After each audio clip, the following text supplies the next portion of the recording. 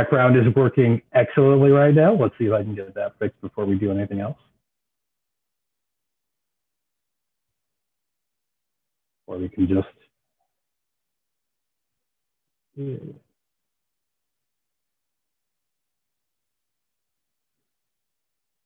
Wow. So yeah, it's not it's not buying the green screen at all when it was working so well.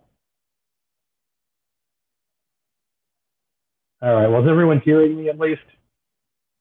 Are folks in the Zoom hearing me? Am I just talking to the void right now?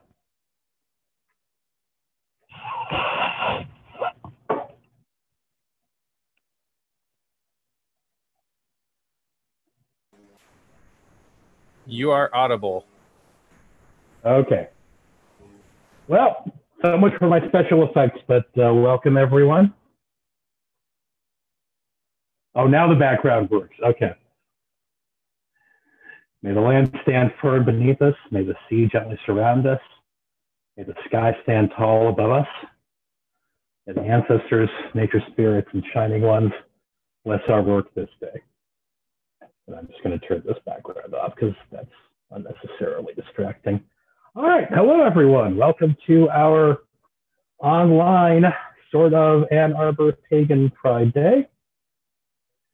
Um, I look, I don't want to act like I'm all depressed that we're not face to face, even though I kind of am. But that's not a positive way to look at this. This is an opportunity for us to do something new for our community and for everyone on the internet, because we're not limited to Ann Arbor here. So uh, thank you for joining us. Um, while we're not an official uh, Ann Arbor, we're not an official pagan pride event, I will suggest that if I can get my screen share working. Oh, now we're getting all recursive. Uh, food Gatherers is the food bank that local to Ann Arbor that we've worked with uh, for the entire run of our event. And I've worked with them through my ADF grove for over 20 years now. Um, obviously, I can't ask you to bring me a can of food uh, to my apartment as a donation, but uh, you can get information on their website here if you would like to donate to them. And uh, excuse me. And the link is in the uh, description of the video file of the YouTube video down there. So if you want to look there later. Um, okay, um, our first presenter is not here yet. So um, we do have Mother Multiverse here who may be able to come in with us for an additional workshop. Um, I'm going to give it a few more minutes to see if Sarah actually gets here. Uh, how's everyone doing? Everyone say hi in the chat so I know that I'm not alone here.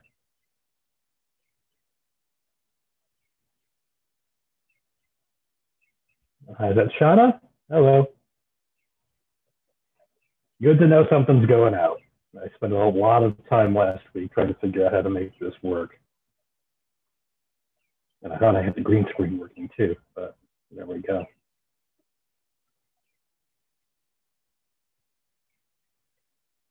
Okay, it's one o'clock by my clock. Uh, Mother Multiverse, are you ready with a backup of some sort? A backup workshop for us to run with?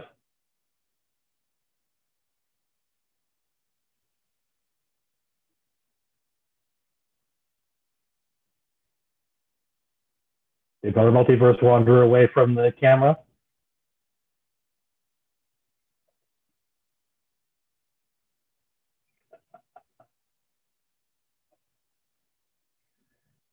Well, this is an awesome start to our event, isn't it? I, I get a degree from computer, in computer science from the University of Michigan. I tell myself I'm not the kind of person who's going to have stuff like this happen to him on a, on a live stream. And yet here we are. No one is immune. No somos immunes. Um, all right, I'll amuse you with stories about myself for now. Uh, I've been the senior druid of Shining Lakes Grove since 1999, the local ADF congregation. Um, I have been the only event coordinator for um, for Arbor Pagan Pride since we got started back in 2016. Um, it is my privilege to take this opportunity in a time of crisis when we can't really be together safely and I'm diabetic and have all kinds of issues that would make it very dangerous for me to be in a group. Oh, it looks like Sarah is here. We might actually be getting our proper workshop after all, which is good because it looks like Mother Multiverse just went away. And the best part is my internet connection's gone down three times this morning. So we'll see how any of this works. But I guess it's a pagan event, so you don't always expect it to uh, go that smoothly. So yeah, um, I was started practicing paganism in 1990. Eclectic Wiccan, like most of us started out with in uh, in the early 90s. Um, but I, I, it didn't quite call to me as much as a Druidry did. So when there was a local ADF group and I finally went, it was like, yeah, this is this is more what I had in mind. So that's what I've been doing since 96. It is very odd to think that I've been involved in paganism for that long.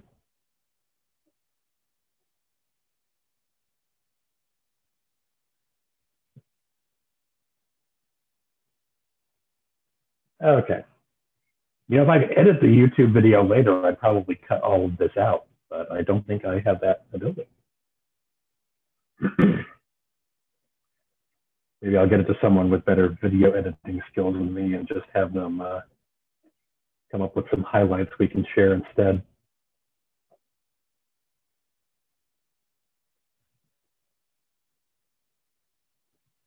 Wait, I see someone in the waiting room.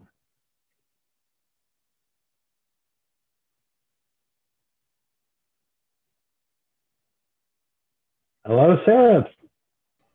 Okay, sorry about that. Hello there, Sarah. All Hello. right. So I don't know. I've been trying to keep people of use for the four minutes since we got started. Sorry about that. Um, All right. okay. And I just hope your green screen works better than mine does. well, hopefully. All right. So, um, folks, this is Sarenth Odinsson. He is doing the workshop on Polytheism 101. And if you're ready, I'll let you take over. All right. Welcome, folks. My name is, as our wonderful host Rob said, Sarenth Odinsson. So, what are we going to be talking about today? Well, this is Polytheism 101. This is going to be digging into the basics of what polytheism means, how it's lived, and exploring how we can use literary and archaeological resources as springboards and foundations to polytheist traditions. So, we're going to explore what gods, ancestors, and spirits are, how we relate to them as polytheists, and how to engage them with respect. So, just to keep everybody aware of where I am coming from, I am a heathen. I am specifically a Northern tradition heathen. I am Norse. So, my expertise and my level of understanding comes out of that with polytheism primarily. So it's going to be pretty as broad as I can uh, cast this particular net. Uh, so if I get something wrong on your particular path, it's probably more of a issue of translation than it is anything else. So let's get started. In reading and exploring this topic, I found part of the core problem of communicating between different pagan traditions and religions is in defining our terms. So, to help with this, I first list the dictionary definition from the online Oxford uh, English Dictionary as a starting point for our discussion. We're going to then dig into the words, especially animism and polytheism. So, what is polytheism? So, polytheism is, according to my source, the belief in or worship of more than one god. This is pretty straightforward. So each polytheist relates to the many gods in a number of ways. Some a son or daughter, some a servant, worshiper, a combination of these, or something beyond this simple breakdown. But polytheism is the is straightforwardly the belief in or worship of more than one god. Monotheism is the doctrine or belief that there is only one God. Atheism is the disbelief or lack of belief in the existence of God or gods. Uh, agnosticism is a person who believes that nothing is known or can be known of the existence or nature of God or gods. Henotheism is adherence to one particular god out of several, especially by a family, tribe, or other group. This is a term that I came across during my religious studies core courses, and it came up again in, a Hinduism course. It's a term rooted in polytheism. It recognizes many gods but worships only one. Some bhakti worshippers from Hinduism are henotheists, and some pagans devoted to one god are henotheist. For instance, a Lokian might be a henotheist, and that they believe in many gods as beings unto themselves, but they only worship Loki. Next, we have pantheism, which is a doctrine that defines God with the universe or regards the universe as a manifestation of God. Then there's panentheism, the belief or doctrine that God is greater than the universe and includes and interpenetrates it. Then you have monism, a theory or doctrine that denies the existence of a distinction or duality in a particular sphere, such as between matter and mind, or God and the world. The doctrine that there's only one supreme being. So monism started off as a philosophical term and it's used in philosophy by Christian von Wolff, which said there is a unity to all things, lacking a mind body divide. Religiously speaking, the term monism has been used to mean that there's no divide between ourselves and the God or the gods. So a person who believes that we're all part of the body of God or we're all part of the goddess in that singular fashion is a monist. Moving on, we have humanism, a rationalist outlook or system of thought attached prime attaching prime importance to human rather than divine or supernatural matters. Then you have the naturalistic, the philosophical the naturalism or naturalistic philosophy, which is the philosophical belief that everything arises from natural properties and causes, and supernatural or spiritual explanations are excluded or discounted. Then you have rationalism. That's the practice or principle of basing opinions and actions on reason and knowledge rather than on religious belief or emotional response. Another term that gets thrown around a lot in pagan discourse is archetype. Psychoanalysis and Jungian theory is a primitive mental image inherited from the earliest human ancestors, and it's supposed to be present in the collective unconscious. Archetypes, archetypes, excuse me, are supposed to be about mental unconscious forces rather than active conscious forces. So it's interesting that archetypes rose in prominence as a way of explaining the gods in, in paganism. It's it's worth noting the definition, so at least we have a working understanding. Pagan, a religious, uh, a person holding religious beliefs other than those of the main world religions. Neo-pagan is a modern religious movement which seeks to incorporate beliefs or ritual practices from traditions outside the main world religions, especially those of pre-Christian Europe and North America. So that's our definitions starting off more or less in a nutshell, the other major definitions that we need to get to are animism. Animism is a theological position rather than a religion, just like polytheism is. A religion is the means by which a given culture, group of people, or a person understands reality, and it's a particular system of faith and worship. Animism generally accepts that all things are are or are potentially and sold, from the tiniest cells in the stars to the universe at large. There may be religions which understand different categories of spirits, such as the Buryat peoples understand the spirits in their religion as Tengr, being big or powerful spirits, Chatgor, which are spirits of disease, and other classifications and understanding of spirits, all of which have places and relationships with us, one another, and in all the worlds in a cosmology. So let's get down to brass tacks basic cosmology. The basic cosmology of an animist perspective is that spirits are, in actuality or potentially, in or of everything.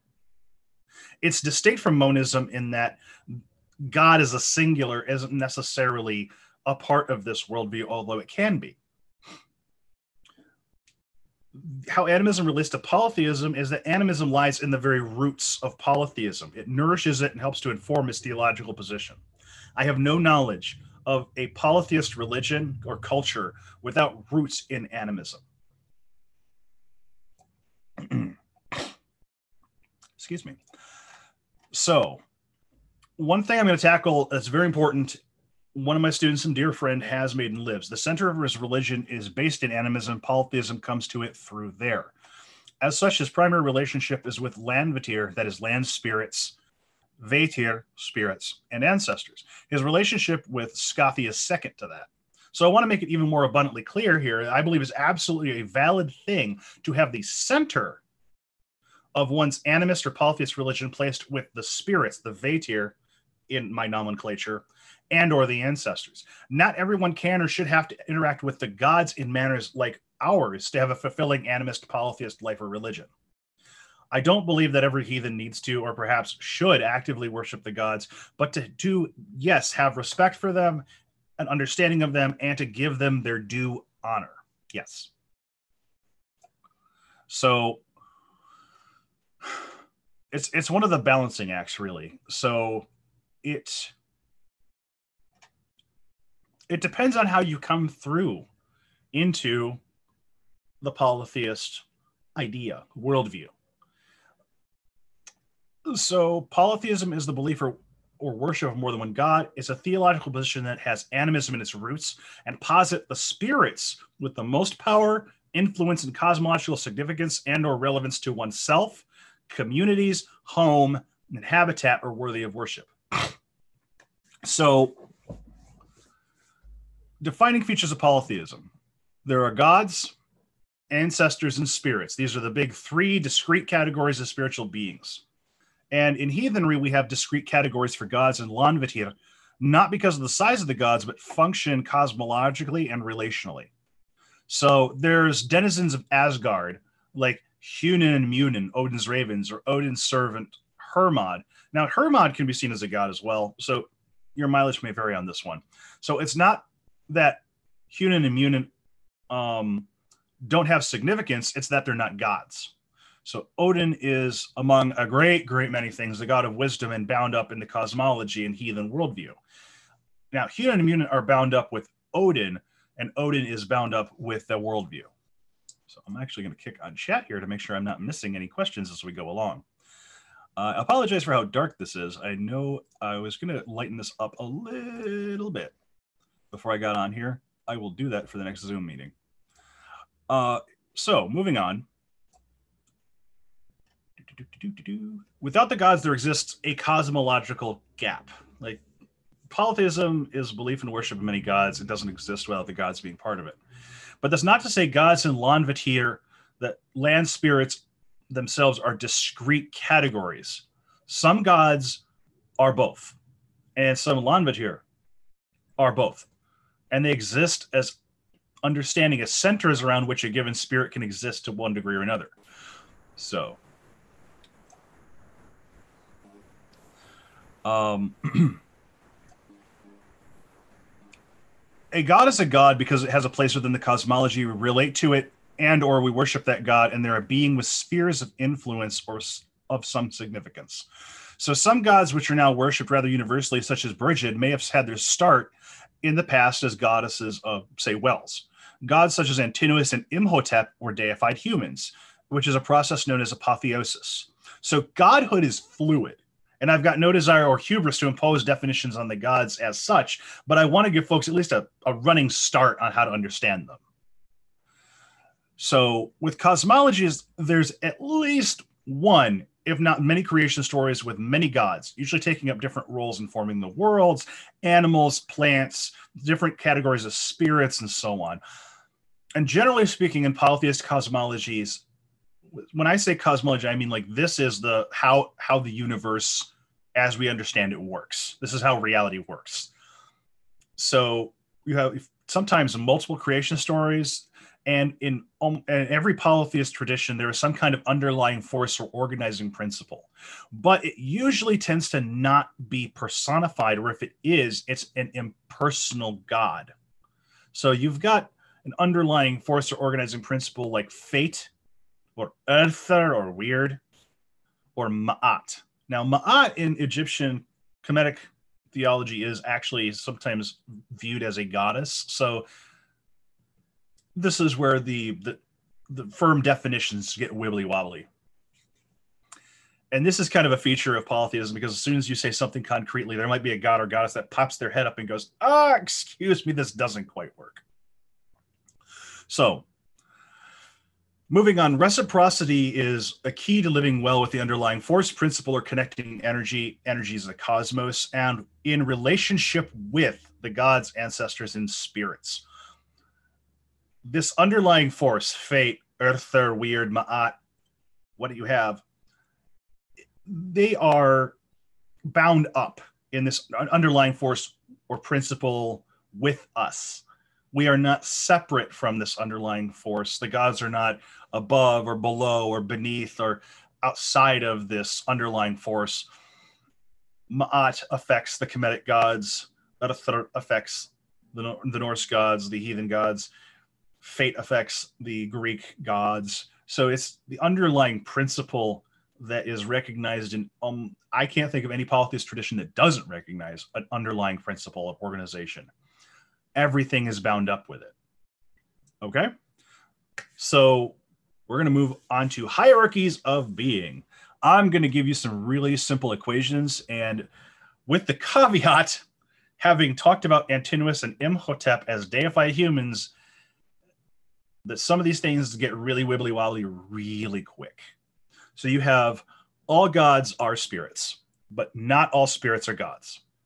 Some gods are a differentiated spirit category like land spirit, troll, Jotun, uh, uh, Titan.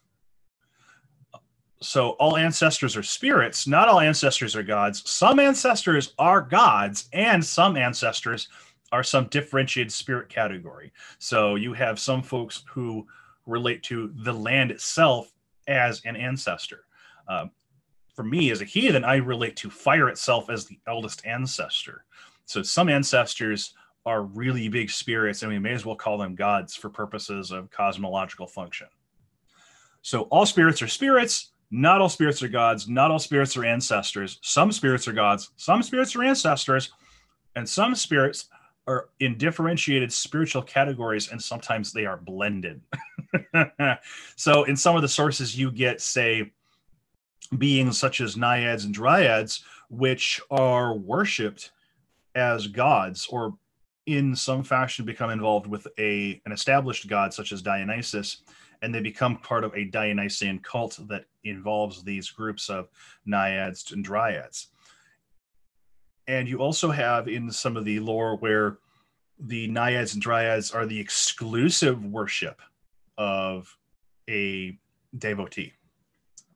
So, with that basic idea out of the way in terms of the spiritual hierarchy and where we find ourselves, hierarchy is a kind of almost a goofy notion once you get round to the idea that some of these spirits are local gods and that hierarchy is relative to where you are in relationship with other things.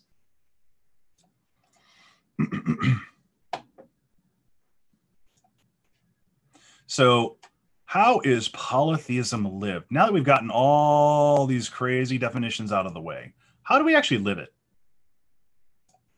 So, we have reciprocity. Now, we call that in heathen, we call that gebo or gift fa gift, gift for gift. Uh, the Romans would call it do ut des. I give so that you may give. That's really what reciprocity boils down to is a relationship of gift giving where I extend the hand of a devotional relationship to a God.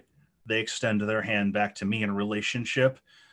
And the cycle of gift giving continues and it can be something as simple as a cup of water it can be something as grand as a multi-layered offering where i've got herbs and water and whiskey and wine and all these other wonderful things the long and the short of it is that reciprocity starts the relationship and keeps it alive how polytheism is lived part two is hospitality so we have this really weird notion in in North America and in in ca- capitalism in general, where we own our property and we own the things that are on that property. This gets a little odd when you talk about things like altars. Do I own the altar? Legally, technically speaking, yes. But it's also a place that I set aside for my gods. So do I really own it? Well, in the sense that I am the host, yes and that confers certain duties on me.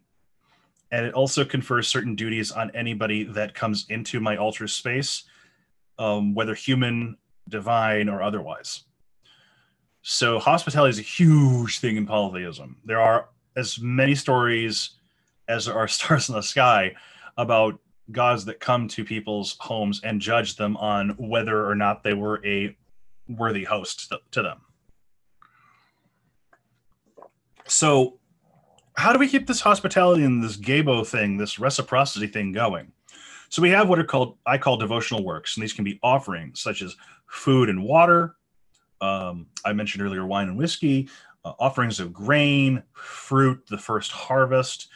Um, this can be art, music, writing, actions such as making temple spaces in the first place, making altar spaces, activism, cleaning up a park or a beach.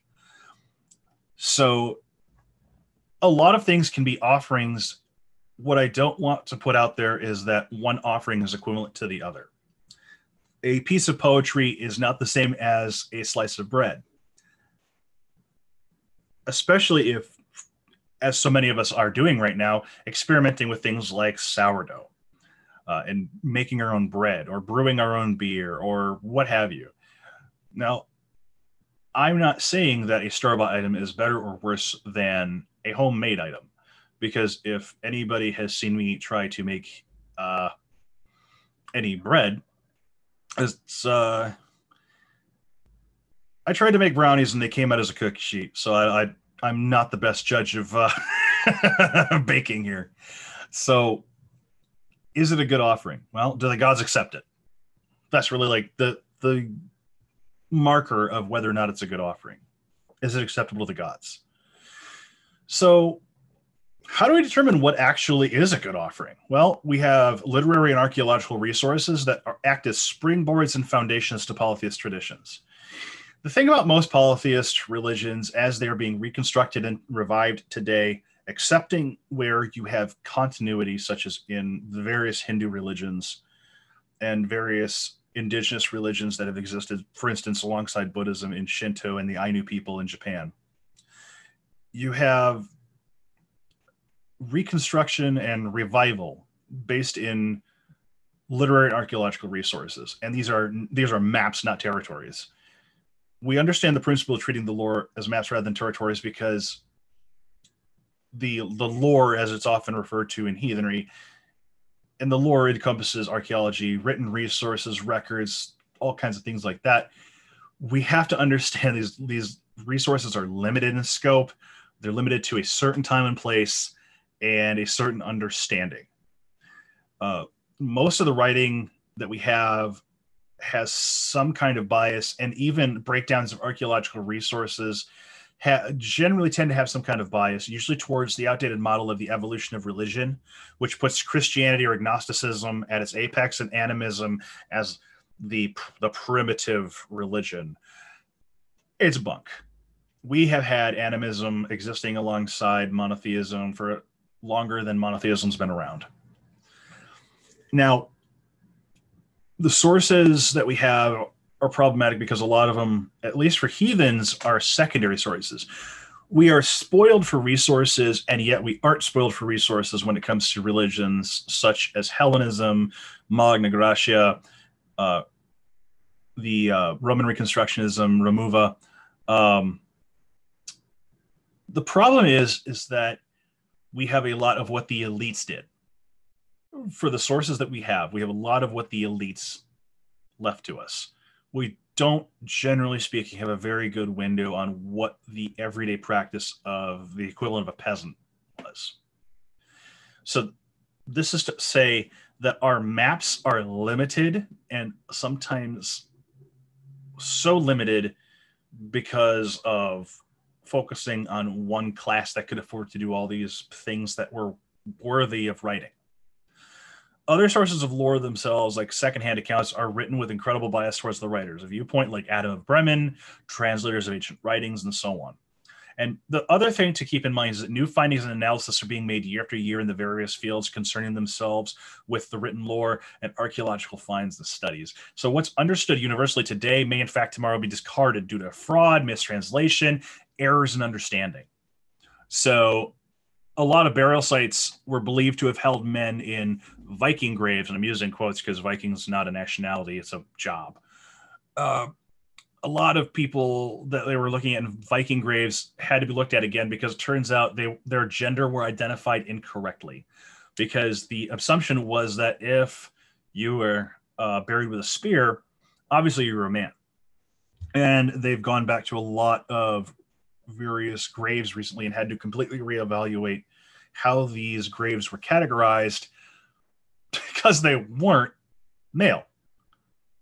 So our information is because these are based in uh, the social and um, other hard sciences like archaeology, the breakdown of radiocarbon data, our well of knowledge is consistently improving and also being revised because some of the outdated models in archaeology and in um, philology are being updated as we understand different nuances of language and culture. So, moving on, we have ways of relating to the gods. So, I'm going to give four categories, and there could be way more, but I'm trying to keep this brief because I've only got a half hour left. You have lay people, spiritual specialists, parent child, and kin relations lover spouse. So, what I really want to put out there is that you can relate to the gods in all of these ways to different gods. You know, I relate to heathenry as a as a Gothi, as a chieftain of a small kindred, Mimisbrunnr kindred, and I'm also a spirit worker. That is, I do a lot of intensive spirit work with various gods and spirits. The thing is, is that I am a layperson in other contexts. I'm not a Paco. So if I'm going to say uh, a fire ceremony, I'm the layperson. I am not the spiritual specialist. So the ways that we relate to our gods shifts depending on our relationships with those gods, and we do not relate to all gods the same way. Uh, I call myself Odinson because I have a father son spiritual relationship with Odin. That doesn't mean that I have a father son spiritual relationship with, say, Anubis. So you can have multiple contexts in multiple relationships, and even with the same god, depending on the context of, say, a ritual, you may or may not engage with that god or goddess um, as a spiritual specialist. It might be that when you're doing your regular devotionals you're just doing devotional not you're you're not doing spirit work. Okay moving on. How do we relate to our ancestors? The ways that i have relationship with our ancestors is blood adoption spirit and lineage. So the ancestors in my understanding and in i believe most polytheist understandings is that they are not only related by blood. You can gain ancestors through adoption, through various spiritual and divine relationships, and you can gain them through lineage, such as initiation into a mystery, uh, specific cultus for God. Also, I probably should put a definition here about what cultus is. It is not being part of a cult in the sense of something negative or mind controlling. Cultus merely means that I am worshiping this god or this group of gods or these beings.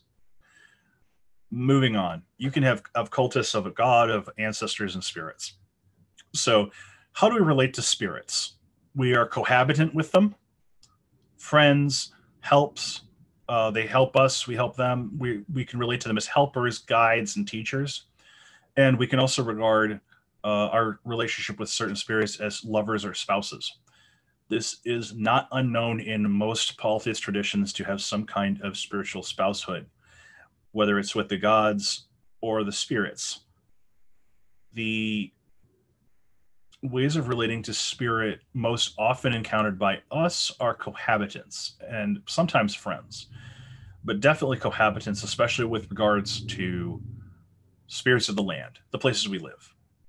Uh, probably the best way for for me to put it is we are we're cohabiting with the land, but we are very often we are uh, unless we have a different relationship with our land spirits, we're, we're guests. We are temporary, where the, the land is going to exist well after we're dead and buried. So, this is all to say that we can have specific paths within polytheism regarding these relationships with the gods, ancestors, and spirits. Certain polytheist religions may have requirements of laity and spiritual specialists, and these can differ. A heathen will have different requirements from a Kemetic polytheist, and what's good as an offering to one god or goddess within a pantheon can be completely unacceptable to another. And there may be different soul parts, such as the soul matrix of heathenry, to that of Kemeticism. And this is just scratching the surface.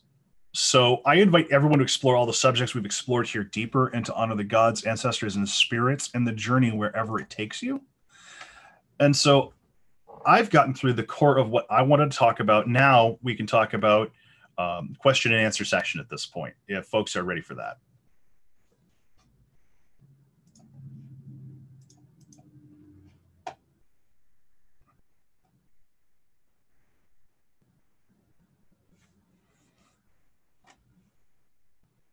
Yes, Ghosti. Yes, Gebo and Ghosti. Ghosti is a very big deal in ADF. You probably know that already. Absolutely. Our former Arch Druid actually wrote a book all about um, the nature of sacrifice and Ghosti. Oh, excellent. I did not know that. Can you uh, link that in the live chat? I probably can. Hang on.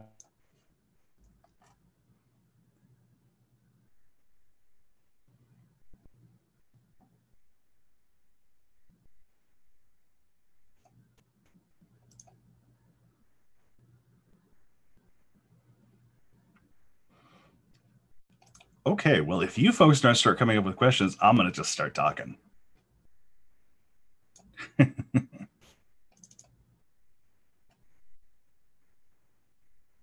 ah, excellent. So I see that Ann Arbor Pagan Pride has linked to the ADF's head.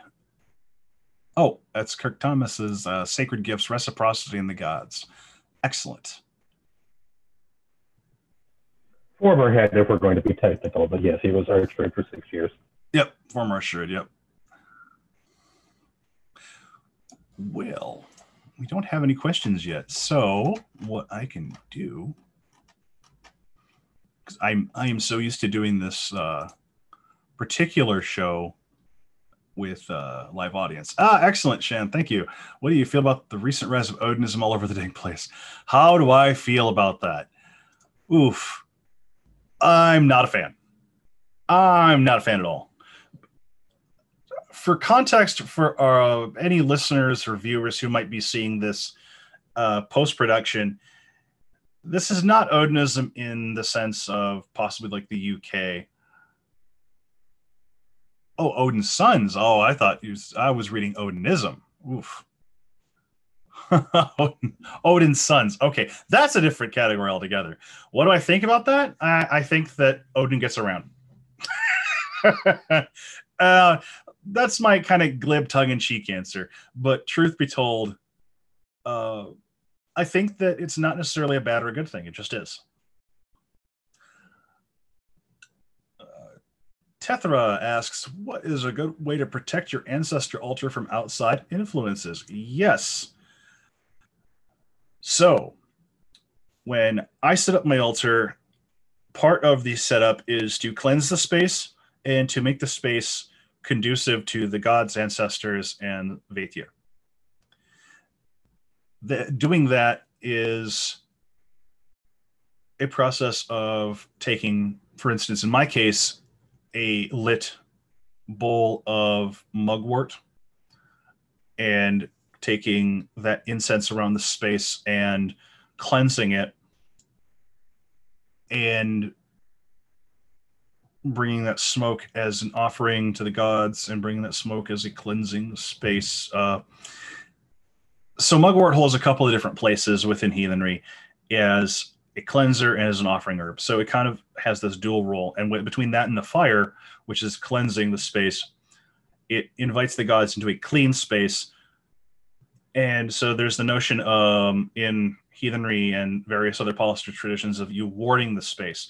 So you might ask a god such as Thor to hallow the space before you do a working or to just keep the space holy. Um, I generally speaking will ask that of Mugwort um, and very and wh- whoever the gods are that exist in that altar space. So Thor does exi- exist on my altar, so he's one of the gods that helps keep the space holy. Um, the way that I help keep the space holy is that I uh, will do my part to make sure the place is treated as a sacred place.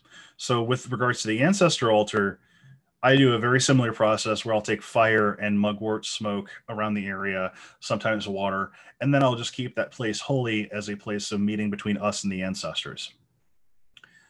So, what was the hardest transition for you through different roles throughout your history of spiritual practices? Thank you, Nicole.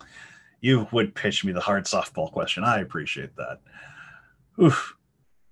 Uh, what was the hardest transition? Gods, I think the hardest transition for me was going from a layperson into a spiritual specialist in heathenry. Um, because I really just wanted to come into into polytheism in general to worship the gods, and from a very early point, I was not allowed to because I had stuff to do. um, I started off my journey as a pagan, uh, more or less as a priest of Anubis. Like the first first year or two, I was I was a lay pagan. I was just worshiping the gods and keeping the holy tides, and then all of a sudden got thrust into this position with Anubis, and that took me some time to work through for various reasons, notwithstanding my elders at the time. So the I would honestly say the the transition between Kemeticism and and heathenry was probably if I had to pick up time, it's probably my hardest transition because I had to completely switch my headspace from a Kemetic Egyptian perspective to a Norse heathen one. Um, even taking recent developments with my former elder aside, that was a really hard thing because it completely upended my worldview. So, uh, Shan Wolf is asking, what do I feel about the recent right of, of Odinism all over the dang place, as opposed to Odin sins? Now, Odin sins I'm cool with. Odinism can die in a fire. Uh, I don't know how else to put that. Uh, Odinism is racialist heathenry. I have never encountered Odinism in a context where it's not racial. So I'm sorry, heathenry is not supposed to be the white supremacist religion. It's just not. We are all children of Askr and Embla, Ash and Elm. I feel incredibly strong about this. I probably could take up the entire space with my rant on racist white nationalist heathenry. I'm not gonna. Long story short, I think Odinism needs to go uh, be acknowledged for what it was, what it is, and no longer be relevant to the heathen or polytheist scene, uh, communities, etc. So Josie asks suggestions for making sure your sources and information are not racist and or appropriated, especially regarding the rise of folks nonsense. This is hard. Okay, so specifically with regards to heathenry, this is this is can be dicey because so many of our early sources are wrapped up in this nonsense. And it's not just in terms of the, the nascent heathen community, it's in terms of where, for instance, a lot of early rune work comes out of. It comes out of Ariosophy. So we have to recognize the sources for where our lore and our spiritual traditions come from. We have to really reckon with where some of the interpolation of white nationalism has come into our resources. So if somebody trots out Guido von List, give that a huge hairy red flag side eye. Uh, unfortunately, because of recent statements made Edred Thorsson, Galina Krasskova, Freya Aswynn. Oof. Maybe once upon a time, people would have found these resources useful. Unfortunately, I can't recommend them anymore because of statements they've made in defense of and encouraging white nationalism. You know, uh, it's no secret that Kraskova was my former elder. And while I would have heartily once upon a time recommended her books and resources on heathenry, I can't any longer. So checking your sources and information so that they're not racist or appropriative, that means doing your homework. That means finding resources where you can, where the stuff is as non-appropriative and non-racist as humanly possible. Unfortunately, because of the way that heathenry has come to us down through the ages, some of that is going to be really hard, if not impossible. You're going to have to take some grains of, of salt with what resources we have. So, that being said, the longship.net is an excellent resource and I highly recommend them. And Mathias Nordvig, Dr. Mathias Nordvig just released his Beginner's Guide to Heathenry. I highly, highly recommend that. That is shot to the top of my resource recommendations because it's not dogmatic and yet it says, This is what heathenry is. Here you go. Explore this from here. Uh, I also heavily recommend folks get a good copy of the Eddas, the Poetic, and the Prose. Carolyne Larrington is my go to because she's probably one of the best translators out there. Uh, Mathias recommended her book as one that he brings to his students. So that would be one of my recommendations is if you're looking for a good resource, get multiple translations. But if you need if you only can afford one, I would definitely get Carolyne Larrington's. Uh, yes, theoi.com. Yes, that's a very good suggestion. I use theoi.com all the time in my own practice when I am praying to or worshiping gods of the Greek culture. So Kai says, What do you recommend for a first step for people transitioning from monotheism to polytheism? So that is going to depend on the monotheist tradition you are coming out of. Uh, there are some folks who need a clean break, no more talking with Yahweh, Christ, etc., or Muhammad, um, and the angels and all the others.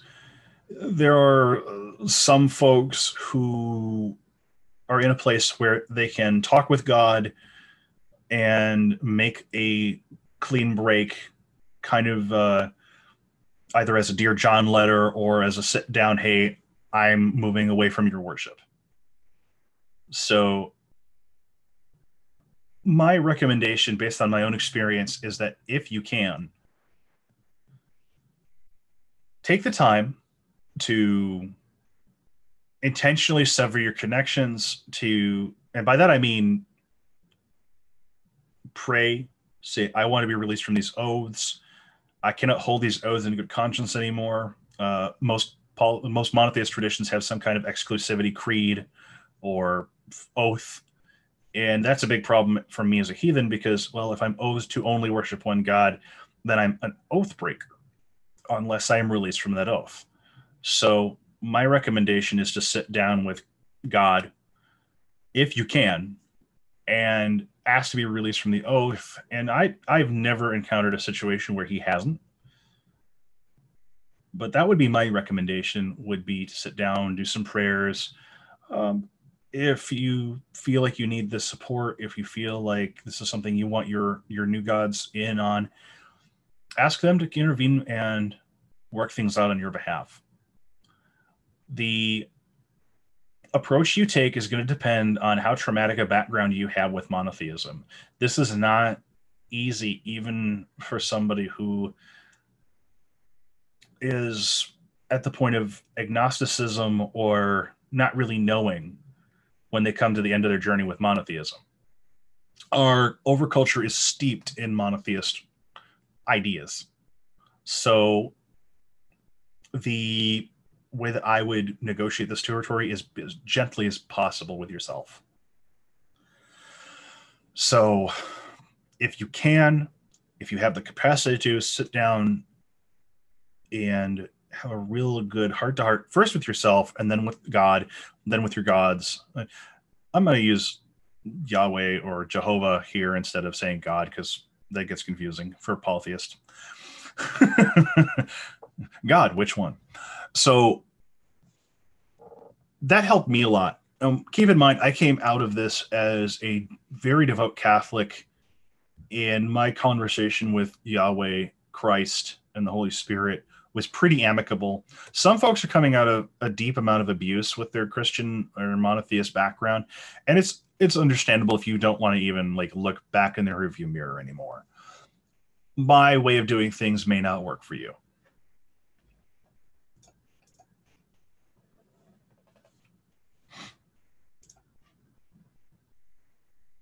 So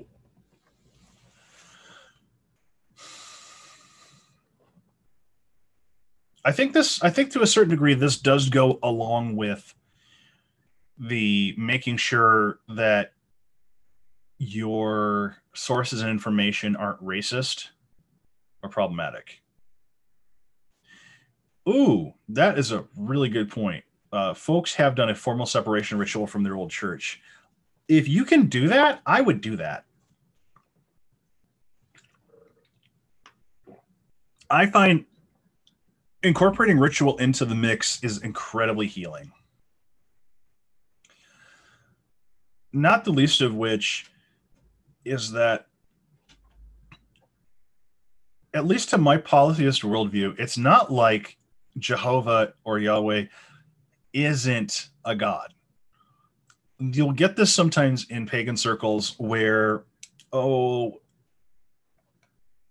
we don't believe in that God. Well, there's room in polytheism for God and all his angels and the devil too. I I don't see a point in denying the spiritual claims of Christianity because we're polytheists.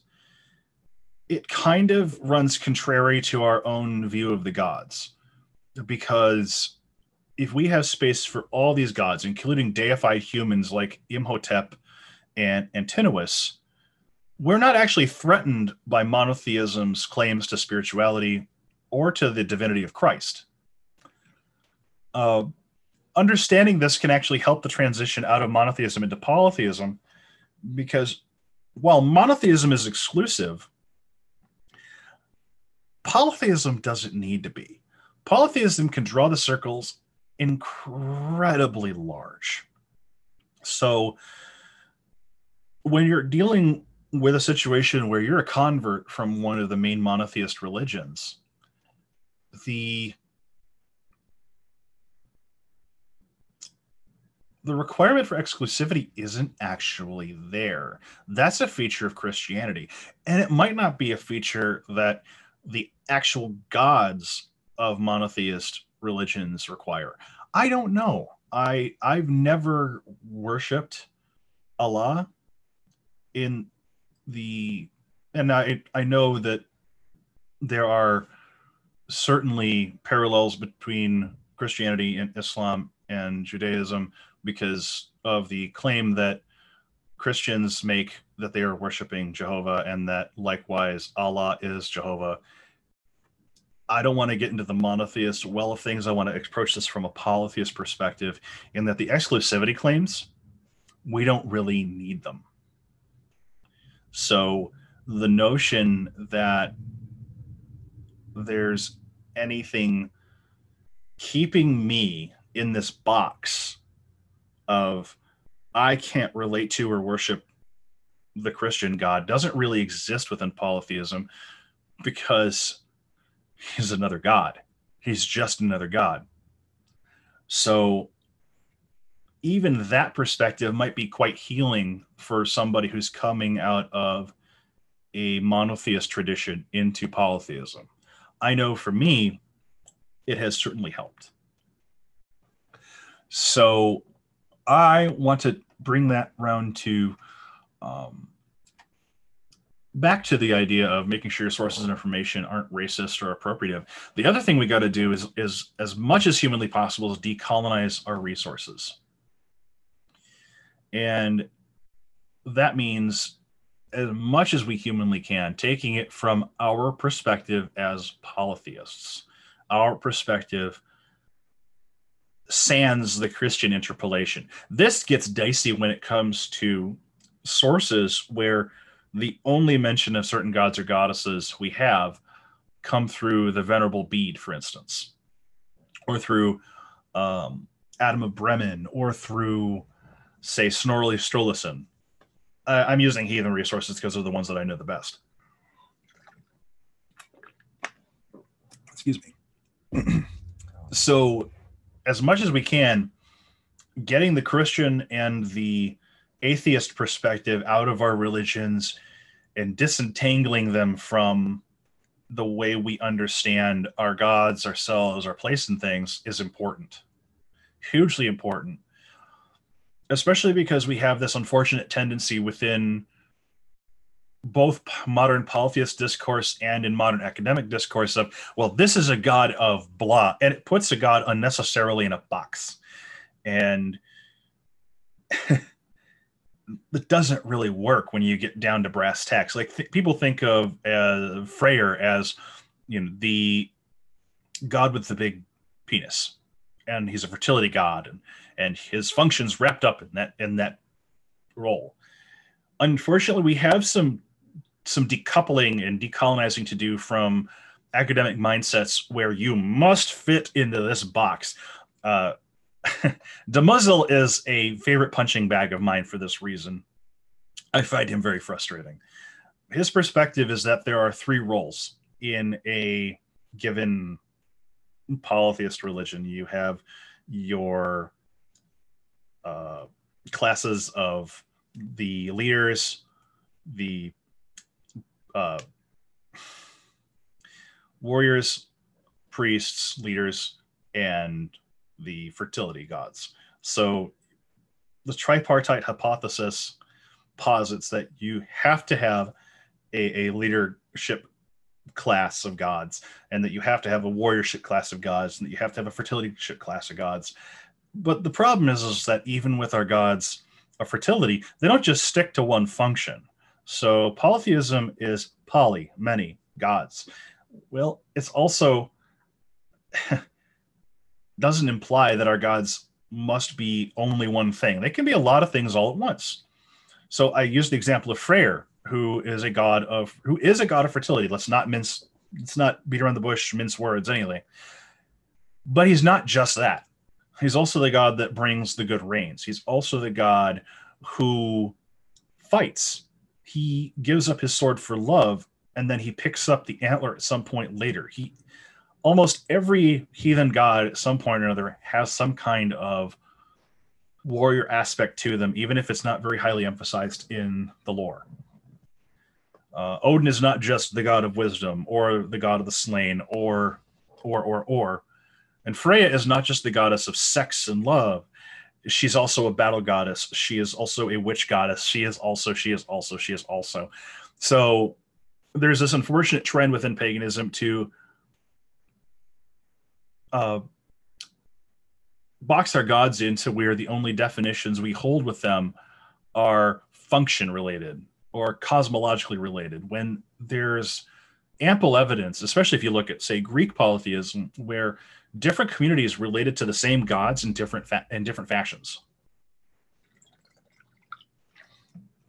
Like take a take a look at theoi.com's epithets for a while and you've got you know uh, Dionysus, for instance, isn't just the wild drunken god. He's also god of these specific places and these specific things. He is not just the god of drunkenness and revelry, he's also the god of the wine press. And so brewing is part of this. And so he encompasses not just one aspect of it, he encompasses the entire wine brewing process, for instance. He doesn't just encompass drinking and wine, though, he has more and more and more. So it depends on who you're talking with and how you're interacting with that god or goddess and what mystery cults you may or may not be part of. Excuse me. Um, our host made the point that sparta had a temple to athena at the same time they were at war with athens.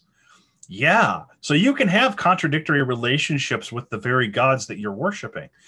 And this is not a bug of polytheism, it's a feature. And I really appreciate you pointing that out, Rob, that Sparta had a, a temple to Athena. That that's fascinating stuff. And that that totally is in line with polytheisms the world over. And not necessarily just in terms of um, conquering or combat or war. It would not have been unusual for people to bring home each other's gods Yes, the Palladium, sacred defensive center of the city. Yeah. And so you've got all these different gods and goddesses, and they relate to each other. So, and they may not relate to each other in the same contexts within the same city, let alone between cities, between city states. And when we take that inspiration from old, old uh, polytheism into our reconstructed polytheist religions, into our revived polytheist religions, your relationship with Odin, your relationship with Thor, your relationship with Zeus, your relationship with Athena, your relationship with Demeter or Vesta or whomever does not and probably will not look the same. Polytheism has within it, and I, I love this particular term from uh, Dr. Butler polycentricity. That is, that there are multiple circles of truth and it depends on the relationships we hold with our gods and our cultures. So that a heathen in texas may not worship odin or thor or whomever the same way that heathen here in michigan will. And we may not even worship the same spirits because we have different lakes streams. Uh, we don't have really many mountains here except for the porcupine mountains if you want to be real technical. So we don't carry the same kinds of relationships between places.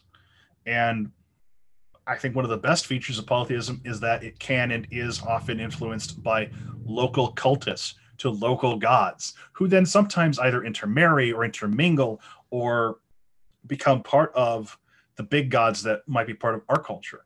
And so that we can have these bleed over effects and we can have all this messiness and beauty and the messiness is part of the beauty it's not separate from it.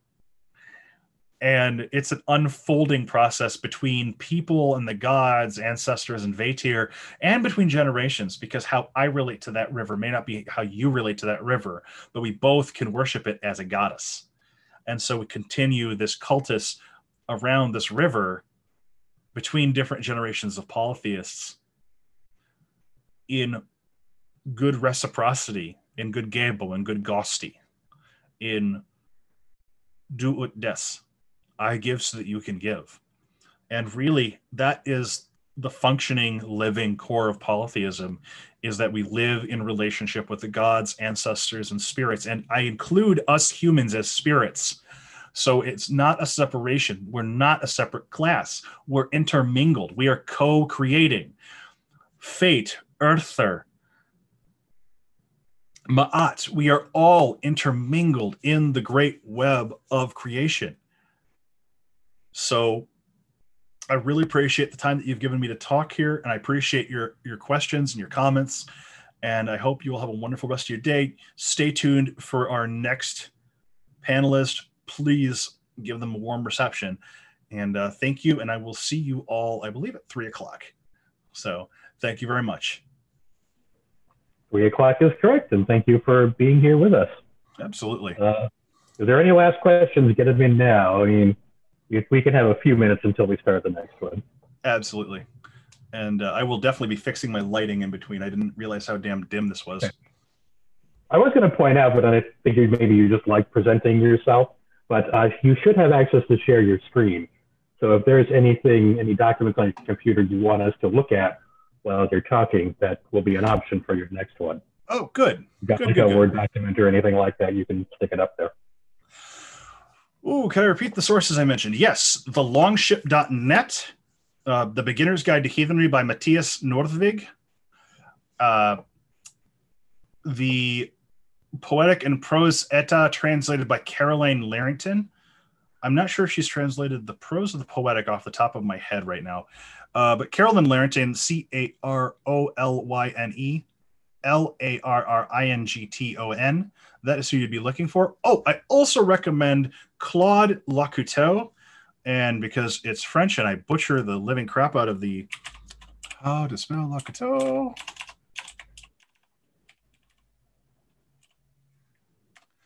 Uh, so Claude Lecouteux wrote a wonderful group of uh, books, which I, I find heavily useful to heathenry, including the tradition of household spirits, ancestral lore and practices. Uh, how to spell the name is C L A U D E L E C O U T E U X. Uh, the Tradition of Household Spirits is an excellent book. The Return of the Dead, Ghosts, Ancestors, and the Transparent Veil of the Pagan Mind, also excellent. I have not read the rest of Lecouteux's works, but they come highly recommended in the circles that I travel in. So, uh, that being said, these are the people that I recommend off the top of my, my head. And if folks want to ask more questions or want more information, they can hit me up at s-a-r-e-n-t-h at gmail.com or they can look at my blog sarenth.wordpress.com or my patreon sar the odinson. It's patreon.com backslash s-a-r-e-n-t-h-o-d-i-n-s-s-o-n so folks and now that you've spelled all of those things out I'll, I'll suggest that if you send them to me on the discord later in chat i can post them in the description of the video. Oh excellent. just come back here and look them up. Now that i put you through the torture of having to spell them all out loud. Thanks Oh man. Okay. Well, does anybody okay, have any... set. Yep. All, All right. right. Let's chat. Let's to get something in for Sarenth until later when he does his other workshop. Okay. All right. Thank you very much for being here. It was very informative. I, even I learned a few things. Oh, awesome. Thank you. I've been doing polytheism for about 25 years now. So thank you. Sure. Okay, uh, Mother Multiverse, are you ready? I'm here. Okay. All right. Am I audible? I am hearing you. Yes, I assume that okay, the excellent. Well. All right. So, uh, hi everybody. Uh, today I am going over snake oil, uh, building discernment. Uh, so, starting off with some uh, background, uh, my name is Mother Multiverse, and I am a chaos magician. I've been doing magic for over 20 years, and practicing chaos magic in specific for a little over 15. Um, I've also recently been working in this tradition called the Labradora. Uh, it's not very well known. It's a mystery tradition with some Greek roots. And uh, we've been kind of replacing most of the uh, visualizations used with like the sense of taste. There's a lot of kitchen witchery. Uh, and so we re- revere um, in her aspect as this goddess of forbidden tastes. And so, enjoying cultists together, uh, we'll all go for a feast. Tide Pods. Okay, now obviously that's all nonsense. Um, at least, for, at least much of that is nonsense. Hear me out. So I am Mother Multiverse, and I am a chaos magician, and I have been doing magic over 20 years. But the Labradora thing. I like to start off with this for a reason. And the reason is because this is a discernment class. Now, as far as all that goes, I don't know who's out there, and I know some of you have more experience than others, and some of you probably even heard me do this little spiel before. But um, the reason I do it is because you may not have raised an eyebrow at first. Like when I first said, "Oh, like Labradora sounds okay, Greek sounds okay," and then somewhere in there suddenly you start to go wait something sounds wrong. The thing is is we can all get misled. And some of you depending on how new you are you may have gotten to the very end before you were like wait a second what's going on here? So there's bad information out there and that's what snake oil is right? It's the stuff that is false. And in this class being a discernment class we want to be able to figure out what's false what's genuine what's somewhere in between and so I want to try and offer you all some resources to be able to do that. Now, the thing is, as pagans, uh, we're often working in the dark. A lot of our myths and materials are obscured in old languages and old books. and uh, sometimes personal experiences and sometimes questionable research. And we're all doing the best we can with what we've got. The word occult, which you'll hear they get bandied about a lot, the word occult is essentially clandestine, hidden secret in Latin. And so, in this world of secret knowledge, there's always potential to get lost. And sometimes that's harmless and sometimes that's dangerous. So, you know, why is this important? Now, obviously, getting misled in the occult can have severe consequences. Those can be social, those can be economic, they can be spiritual, they can be physical. And the information is, or misinformation you get, sometimes you get it by accident. It's just a, you know, mistake. And sometimes it is, in fact, a malicious and deliberate kind of action. So for this class, uh, challenge is how do we identify bad information? How do we stop its spread? Stop it, the spread of it. So I'm going to start, and we're going to have three main kinds of snake oil we're going to go through: purposeful deception, bad research, and mental illness. And we're going to start with purposeful deception. So, purposeful deception, I break down a little bit too. Um, so the first kind of purposeful deception is simply the ones for profit. And this is where you're going to get somebody who puts together a book and they're not really caring so much about authenticity. They're caring about getting a book in your hand and getting money in their hand and trying to get that kind of um, thing going. And so they're either willing to fully or partially um, BS their way through these things and write down things that aren't necessarily authentic or useful to you. Um, and a lot of times it can be very insidious. It can be kind of done in stages. For instance, if you get uh, a book, you might read a book and you're like, okay, this seems pretty good, but it seems kind of incomplete. And then there's an ad in the back, and it's like, oh, there's a there's a video seminar. Okay, like so then you do the videos, and now they're like on an email list and suddenly like hey if you really want to learn the real stuff you got to come to one of my like live seminars. And then suddenly you're, you're like paying for this camp that's like thousands of dollars to spend one weekend to learn all this. And it's only after you like run into a friend who goes like oh what have they been teaching? Oh they say they're like some sort of like i don't know for instance i guess um irish paganism and they're like yeah, I've been doing some Irish paganism stuff, and here's all the places where they're wrong based on the original sources, and now you're just out a ton of money. Um, so that is one way that can go. It can be very much in stages, just putting things out because what is authentic isn't always very marketable. Uh, making things seem easy, making them seem glamorous and bigger than life, that's a great way to sell a book, but it isn't always true to life of how things work. Uh, one thing I would look out for in the case of these kind of deceptions is if the book claims to be from an oral or secret tradition of some type. Now, that doesn't mean it's not true. There are oral traditions and secret traditions that are both, you know, totally genuine. But when you put that up as something in a book, you now get to deflect almost all of the criticism you could have had. If somebody's like, well, I read your book and it's talking about these Labradorians and Hecate is a goddess of forbidden tastes, and I haven't seen anything about that in the actual lore. And you could be like, well, you see, it's an oral tradition. So if you wanted to know that, you'd only have ever heard it directly from somebody who's part of that tradition. So you know it's it's secret so you can't you can't judge it. So that is that is unfortunately an ugly deception to tactic. I'm not saying it's always there i'm just saying if you see it in a book i would watch out for it. Uh, the second kind of purposeful deception is that for power. Um, now this is the dangerous one because here we're getting into cults and brainwashing and brainwashing tactics. Um, when it comes to uh, cults and brainwashing tactics. A lot of times, this is the stuff that starts small and it builds up over time. Because let's say you go to a, a live pagan event of some type and you meet a group of relatively nice people. Maybe they dress really similar, maybe they don't.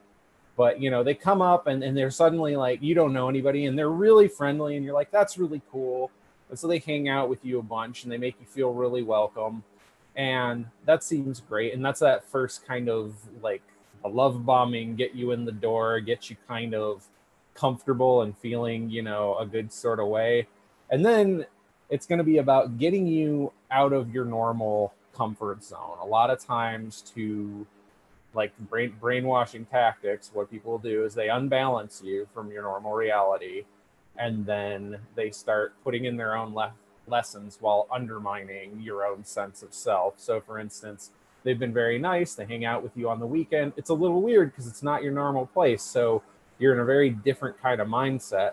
And, you know, then they're like asking you to come out to events and things with them. They always seem to be doing something fun and they and they ask you to tag along and so you feel really good about it.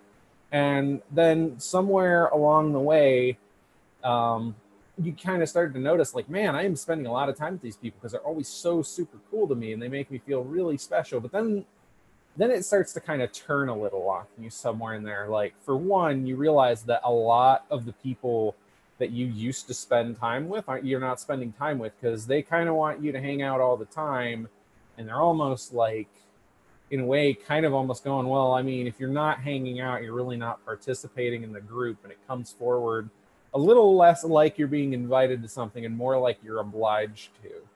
But you know you're going along with it because you still like them. They've been very nice and it's been very good.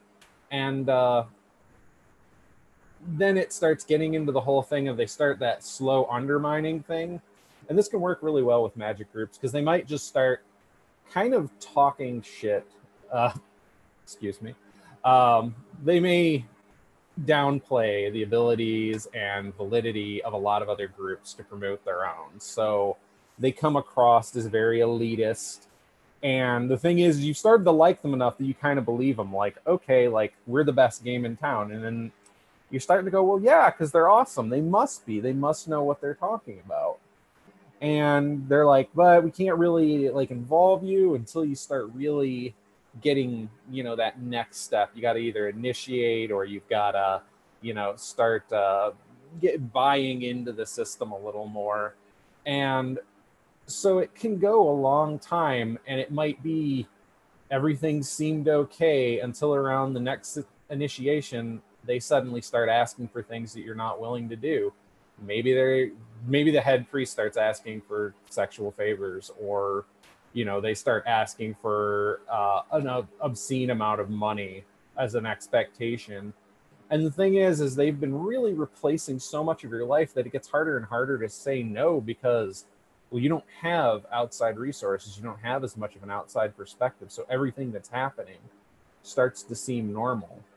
And of course this can be a source of misinformation because you know if this is seeming as somehow normal and they've managed to use that power base to normalize themselves in the community if they say something and that whatever they say starts to proliferate people just start to believe it because hey they're they're important. They're there.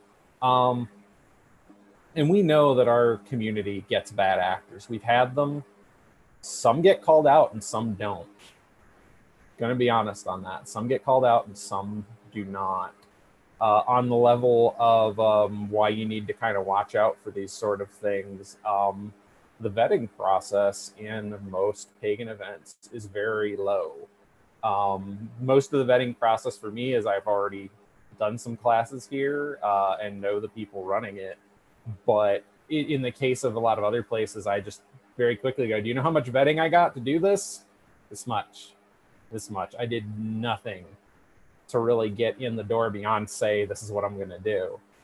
So you've got this thing of these people can get into a place of seeming authority and a teaching authority kind of position and start spewing whatever they're doing for power or for profit. Um,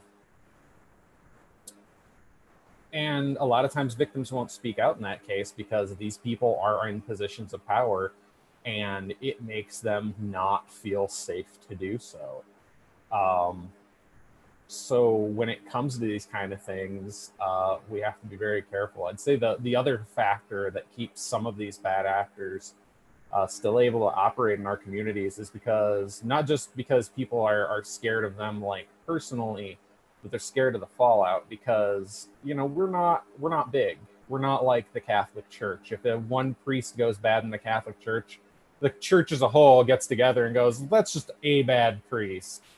It's not an endemic problem. It's not our problem. They're just one bad one, and they they shuffle them out of the way. It happens with us. There's bias in the media, and I'm thinking there's a, you know, not entirely illegitimate concern that if something blows up, it's going to blow back on everyone. And maybe that's the case.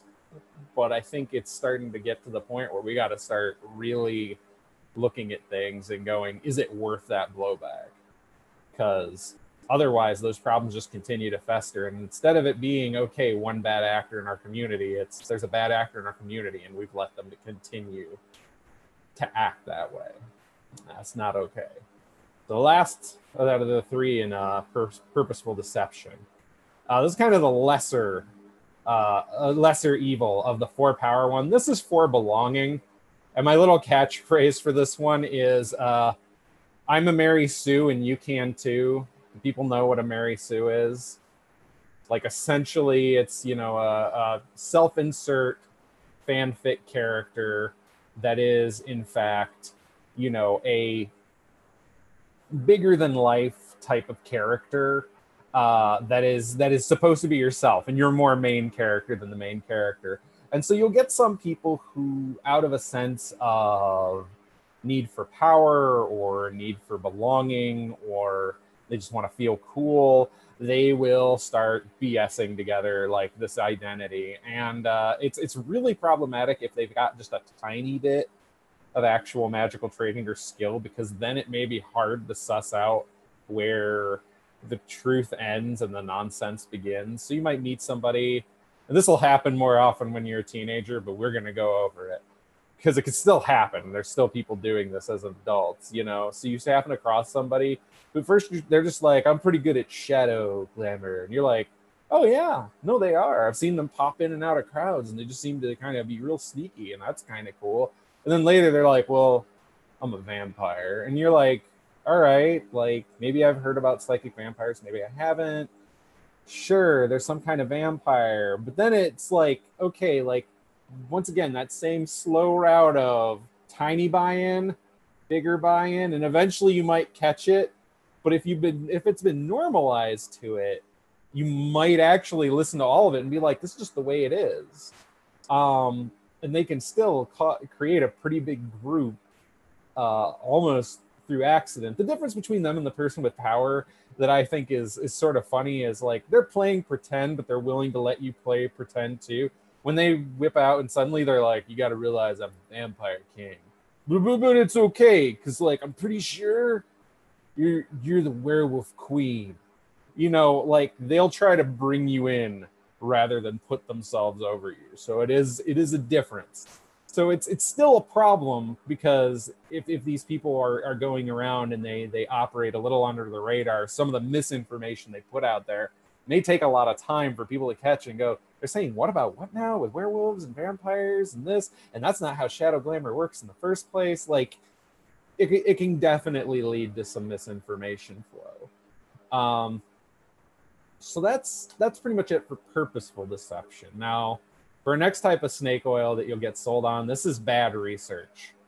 Uh, bad research happens, and I'm gonna start off with the good enough method. And sometimes this also feeds right into the for-profit model.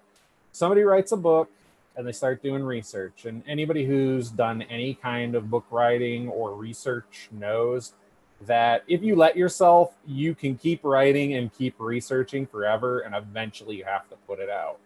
So there, there's a there's a point where you got to stop. But the problem is, is that some people, instead of doing all the research or doing the writing they need to, they're just like, well, I'm going to take a shortcut. You know, you'll get people who do plug and play books where they're like, well, I just did a book about Norse Norse uh, Wicca, I'm gonna go ahead and just take all those Norse gods out and start. I don't know. I'll plug in some Greek gods or something, and it's close enough.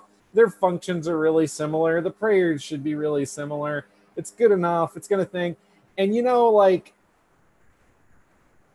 maybe if they were genuine about that process, it wouldn't be so bad. But often they make statements of this is how it's historically was, this is the truth of how this system worked, etc., etc. The embellishments are really what puts it into that category where now we have lies in the community because they tried to pull off what is essentially some shoddy modern shortcut writing and try to say that it is ancient and authentic stuff and that just creates a lot of misinformation um, our second category for bad research comes down to spiritual truth. Now a lot of times somebody doing something like the good enough method might be like well you know i haven't read the book on it and you know but i'm pretty sure because of how i feel about it this is what apollo would have wanted.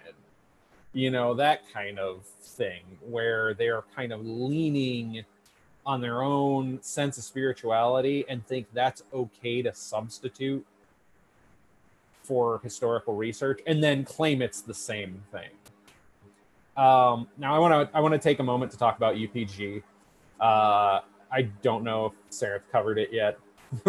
Sarenth covered a lot of things I'm going to cover in here, but um, UPG, unverified personal gnosis, the idea of a spiritual experience that you had and was not experienced by others or was not experienced in a way that you could prove it.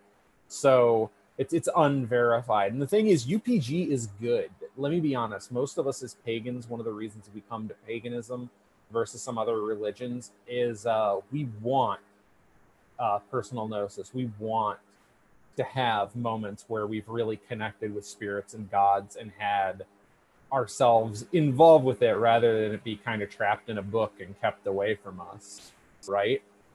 Um, and the thing is, is there's plenty of books that are full of UPG that are very good books. Um, the thing is, though, is that usually if it's a good book that's full of UPG, they tell you that it's unverified personal gnosis. These are, in fact, experiences written down by actual real life spiritual practitioners and the the experiences they've had rather than try to be like well these are my spiritual experiences but i think they're spiritual enough that i can say this is exactly what the ancient celts did and not feel any guilt about just putting in your own opinion and your own experiences rather than being honest about what they are. Um, going to talk about two more things on the spiritual truth thing with UPG and stuff. Verified personal gnosis. Verified personal gnosis is like the better version of UPG that you can get because sometimes people who are separate uh, have very similar spiritual experiences without having had the kind of influence on one another where uh, where things necessarily would be influenced to match up, but they do somehow. And that's that's kind of great because when that kind of thing happens, verified personal gnosis lets you gives you a better experience because it's less likely to have been biased by your own mind, which now the last thing, sock puppeting. One of the problems with spiritual truth in a thing and why you need to be honest about it and say that it's going to be some sort of personal gnosis process is because when it comes right down to it, sometimes we listen to the voices in our head because they sound good. We don't always come across perfect, and tuning into spirit, hearing what various entities want and having genuine experiences. Sometimes, if we're not like grounding and cleansing and doing all the other things to get a real clear signal, and we really want something, we may just hear our own voice and misinterpret that as a spirit, or we'll make our own visions and misinterpret that as a spiritual landscape, and it's not. Which is why it's important to label these things so that, well, that way people can navigate it and judge it on their own. That's also important. Uh, next thing on bad research, secondhand research. So we've just identified two ways that uh, research in a book or a presentation can get screwed up. Uh, it can it can be because somebody shortcutted, and it can be because somebody is trying to pass off uh, non-genuine experiences genuine, or it could be any of the purposeful malicious stuff. Um, and then somebody writes a book, and they use those bad books as as resources. and that happens. Like trying to cut it off at the root is important because secondhand research is going to happen. We don't have all the time in the world to like learn this stuff. Like I don't expect everyone to become like some sort of like spiritual scholar researcher. And so it's okay to write to read a book that somebody else has written in the modern day trying to summarize stuff. But the problem is is if their research comes out of bad research, well then it becomes very difficult to sort out you know what's good and uh, what's bad as far as a lot of that goes so that's that's obviously a problem but even if we were to eliminate a lot of these sources of bad information uh, even if we were to control for all this and had really good research we didn't have malicious actors the last part of bad research is the one that's kind of unavoidable and uh, did come up in Sarah's talk earlier if you're still here from then uh, new evidence comes to light. Like, truth is, is a lot of our books and sources were written by old aristocratic uh, Europeans who had their own biases and ways of looking at the world. And sometimes they wrote really crappy books. And there was no one there to tell them no. There was no one to vet them. There was no one to make sure the research they were doing is good. So if they start conflating gods, like there's some real stretches on I really like like Greco-Roman myth, so I'm just going to equate any god I come to and just be like, obviously this culture is just copying Zeus or whatever. That happens a lot. So we've got these really bad books, and sometimes they start getting called out. You have historians finding better sources or older sources, or reinterpreting the original source in a way that is more true to the culture it came out of. Uh, you've got the case that sometimes uh, an anthropologist, uh, you know, or archaeologist, I don't remember which is which correct, but they come across something they didn't know before. I can't remember which Scandinavian country it is, but they came across uh, offerings underneath bridges, uh, piles of gold and stuff. And it looks like they were there from when the bridges were built. And so suddenly that's like a part of that spirituality. It's a piece that we didn't have before of like, hey, like they made offerings before making bridges. That's important. And it could be that before, when you looked at the religion, that was not part of it. You didn't think of that as being a part of your spirituality as far as it has managed to come together from all the paganism we've been able to research and cobble stuff together out of. And so now you're going to have to it's it's really the whole thing of can you be solid enough in yourself to realize I had some bad information. That bad information is not me. I'm going to cast that bad information aside and grab this new good information. And, you know, if a practice turns out to be inauthentic, you know, you'll have to decide on a case by case basis how important it is to you to have that authenticity.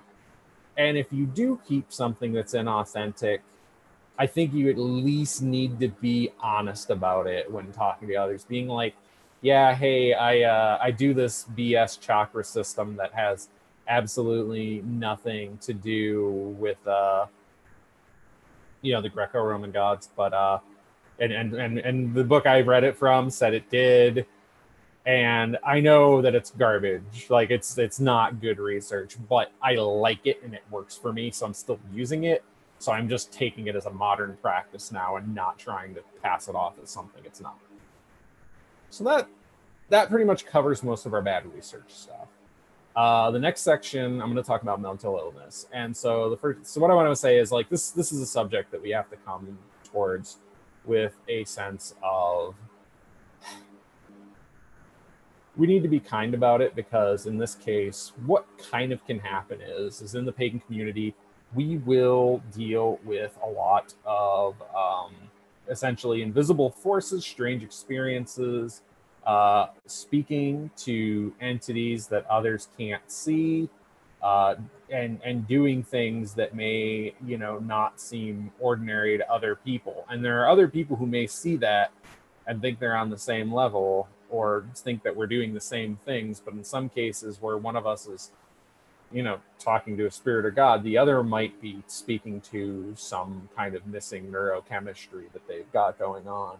And I want to be very sensitive about this because it's not like I'm feeling as if um, it, it's a level of you feel for these people because they will get into our communities and unknowingly they could cause damage to themselves they could cause damage to others.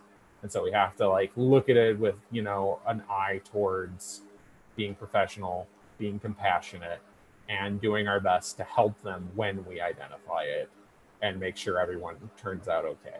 Uh, the first mental illness thing I want to talk about is compulsive liars. Um, so I'm, I'm speaking of a specific subset of compulsive liars. Uh, I'm talking about the ones who have big fish stories. They come in and say things like, "Oh yeah, that one time I, fist fought a bear.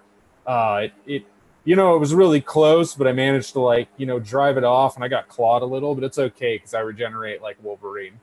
Um, and they'll they'll have these really big fish stories and these beliefs, except they don't actually believe them, but they run with them.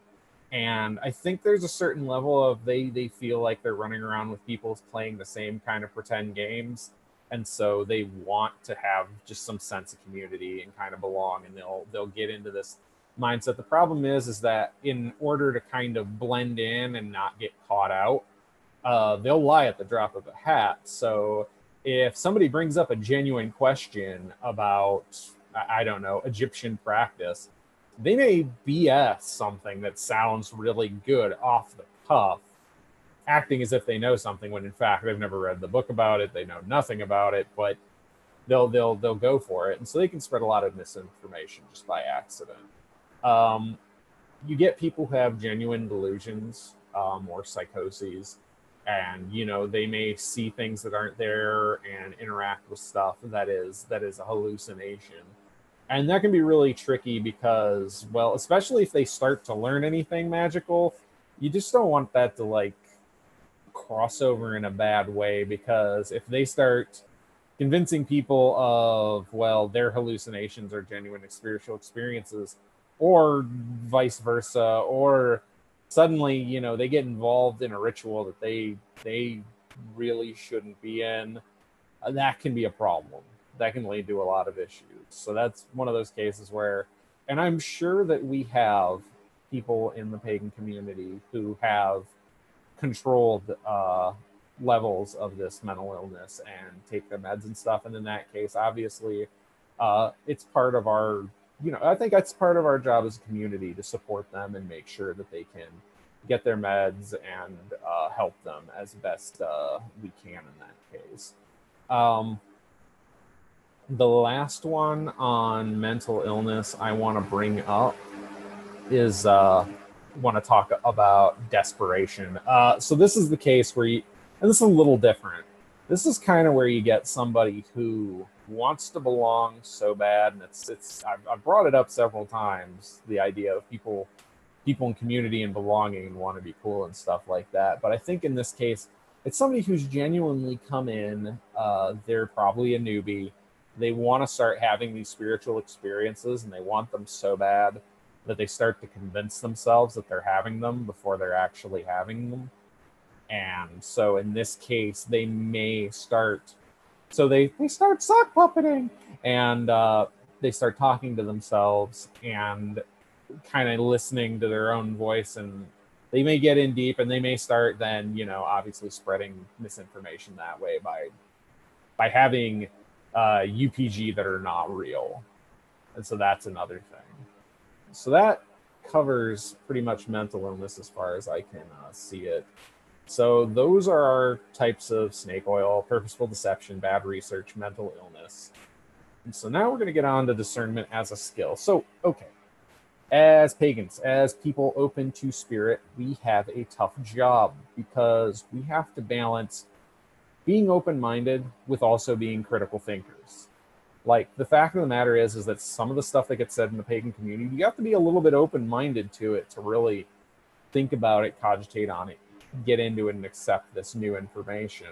On the other hand, we also have to be wary and have some skepticism to try and keep out, you know, the snake oil, the bad ideas that are, in fact, you know, deception or misinformation. So, to do that, I've come up with a series of short phrases that I think are helpful little guidelines. So if anybody's like taking any kind of notes, like the the previous section is good for you know kind of getting an idea of okay where can this misinformation come from. But if you want something just to personally help yourself, uh, I think these are good little phrases you can use to try and help you sort out information. All right, I'm gonna get started here. Phrase number one: If it sounds too good or bad to be true, it probably is. Sounds too good or bad to be true, it probably is. Um, this is this is pretty on the face, easy to go. If somebody comes along to you and they're like, "You're cursed," you have a death curse, and unless you join my group, you will be dead in a week.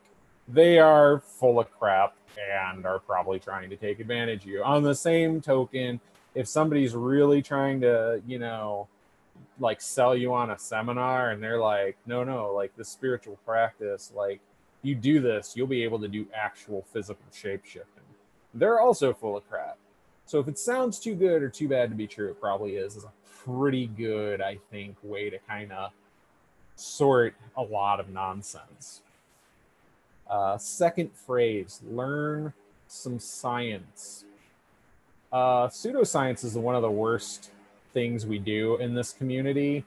Um, at least I think it's gotten a lot better in recent years, but I've had some arguments about electromagnetism being used to build the pyramids once long, long ago. And I remember telling them, like, if you were able to float a giant stone block using only electromagnetism, the amount of magnetism that would be used would send metals like sailing from across like you know the entire country towards that point like things would get destroyed.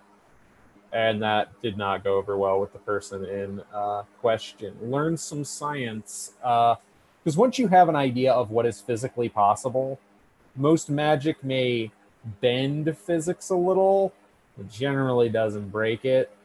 Um, and then also if somebody's doing something that's more of a hoax like a you know magic trick that somebody's trying to pass off as uh, as a genuine like spiritual act you'll be better able to, to sort that out and i mean this this is one of those things too of like it's it's useful because you can even help yourself from fooling yourself i once did a psychic telekinesis experiment. You make a little paper thing and you put it on a pin and you try to move it with your mind. And I did this, and suddenly it started moving as I waved my hand. And I was like, whoa, but I hadn't put it in a jar, which is apparently the better step you can take with it. Uh, I, I just had a lot of static cling on my finger. It was falling, and I figured it out pretty quick. But for a moment there, I was like, whoa. So you need to learn some science because there's some pretty miraculous looking stuff that is just perfectly explainable phenomenon, and you'll save yourself a lot of headache. Um, find several sources. Find several sources. Um, so good work tends to have references towards other good work. Um, so if you get a book and you like it and you look up its references, you'll have a better idea of where it got its ideas from. Um, but it's good to look for several sources. Uh, people who do a lot of their research are usually pretty good sources themselves to point you towards good books. And those people, sometimes, if you're looking to their UPG and stuff, they can be very good sources themselves. Uh, but by getting several sources, it's helpful because let's say you have, you know, a book, a book that the book references, and you got a person who suggested the book in the first place if these things start disagreeing with each other, well, that lets you know the places where there's disagreement. And that lets you know where things are a little more shaky, where your opinion might have to be formed a little more from thinking a little harder about it. Where if they agree on a lot of different things, well, the points where they agree, you start to get a better idea of what's going on. Now, mind you, even even cutting the person out, yeah, having multiple sources where they agree, more likely to be true. Where they all disagree, also it's it's that's the places where you can really start to go okay this is where i got to look a little closer and figure out what makes sense um it's just a helpful way to do it chew but don't swallow this is the next phrase chew but don't swallow so it is okay to think things over. You can try out a new idea without incorporating it into yourself. You don't have to immediately accept it as gospel truth. If you read a book and it seems a little off, it's okay to like just go, well, what if it is true? And try it out for a bit and go, okay, does this make sense? Do these practices work for my life? Do they work in the first place? Is the source genuine, etc.? You can take time to think a thing over and try it out and then set it aside or spit it out if it doesn't work.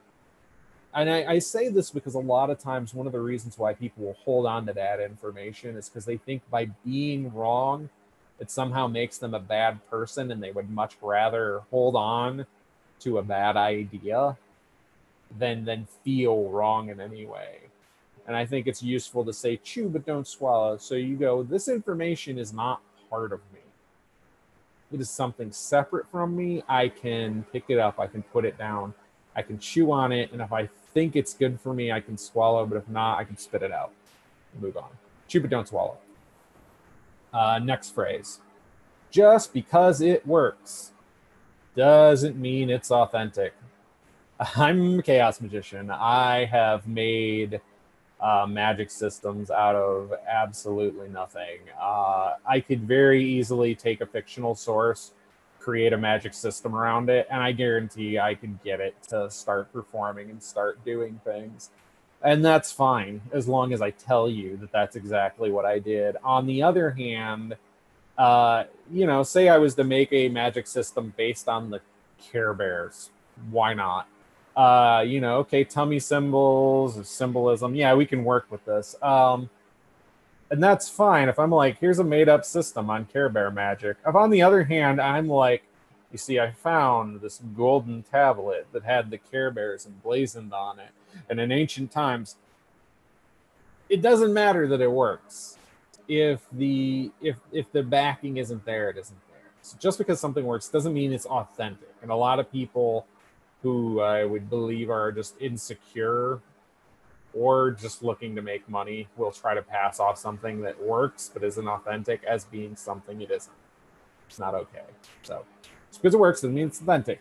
Vice versa. Next phrase. Just because it's authentic doesn't mean it works. I have read some very silly things in some old manuals. Um, I think Pliny the Elder has some very nonsense stuff in their book. Some of it is probably pretty racist too. Uh, Cornelius Agrippa, I think, several times references mythological animals that don't exist with a lot of just bad data. And these are old works. And I would say, in a way, they're very genuine because, well, they're they're almost old enough they can't not be. It's a source from the time. And some stuff we we don't have other authors to get from. But that doesn't mean it works. It may not work because it doesn't work for a modern context. It could be that we've learned some science or some other things that invalidate it, or maybe it's just magic they wrote down that they got from some dubious source and it just sucks. I don't know. Just because it's authentic doesn't mean it works.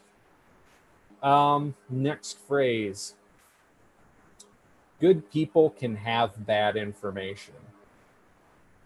I think this is an important one. Good people can have bad information. I have met some very kind people, very sweet people, people who would take you into their home and feed you, and they pick up some wrong ideas and they just keep running with them. Uh, I think the one that comes to mind immediately every time is the Easter Ishtar thing.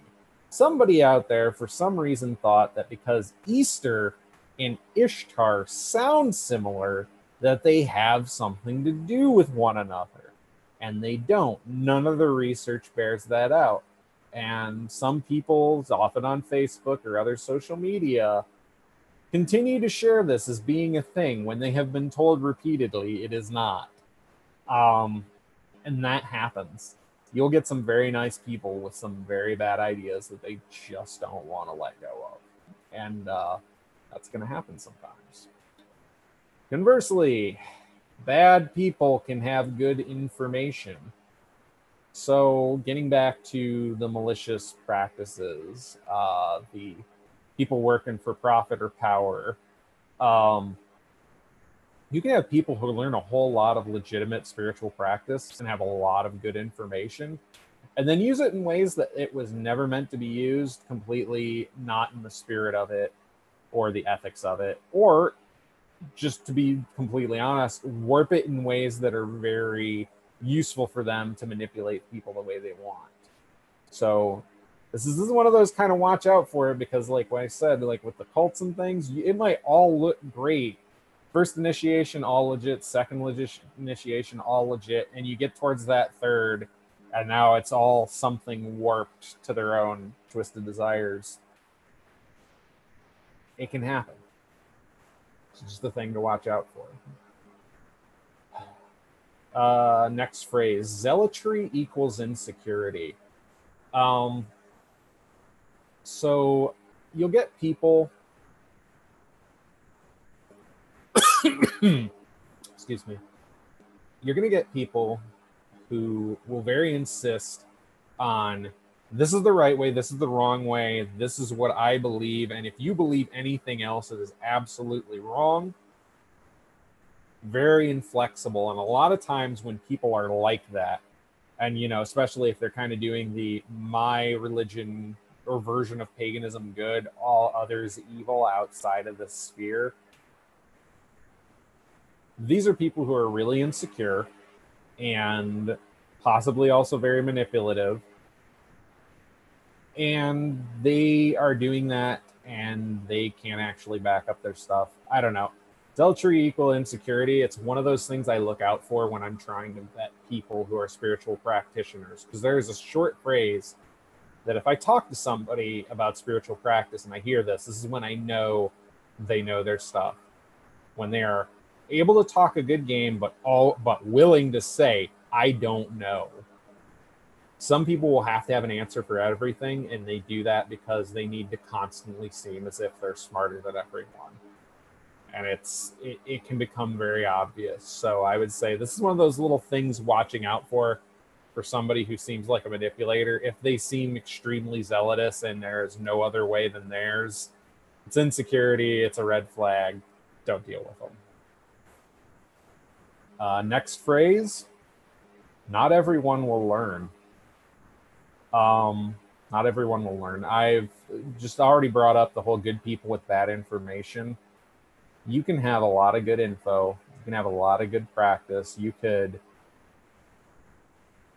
you could take the time and share this whole presentation with them. And some people just aren't interested like they might be a nice person they might be a not nice person but they're just not going to care about doing better or vetting sources or trying to make sure their research is good um, and the thing is, is it's not your job to be a crusader trying to save everyone. If somebody's you can you can offer good info, you can offer resources, but you can't make anyone take them. So it's just it's just a sad truth. It's worth knowing ahead of time. Not everybody's going to learn. Um, the last one here. Be the resource you want to see in the world. Um, be the resource you want to see in the world by practicing good discretion, good research, by paying attention to make sure you're not spreading misinformation. Uh, it means that you're going to be more and more knowledgeable of how things work, how things are. And so when somebody asks you about something, you're not going to spread more misinformation, you spread more good information. So when you take classes like this, when you read books, when you do research, if you're doing it all right, you'll find yourself becoming more well informed. And no matter how much you do, you're never going to know it all. But the good news is, is that we have each other. So if you see some information that doesn't seem right, take the time, chew it over, don't swallow. If it turns out to be false, maybe find figure out who told you it or, or what the source was. Maybe gently inform them that they may have been misled. And if you learn, if they learn, if they listen, which is great if they do, you not only improve their knowledge, but you curtail that misinformation from spreading elsewhere.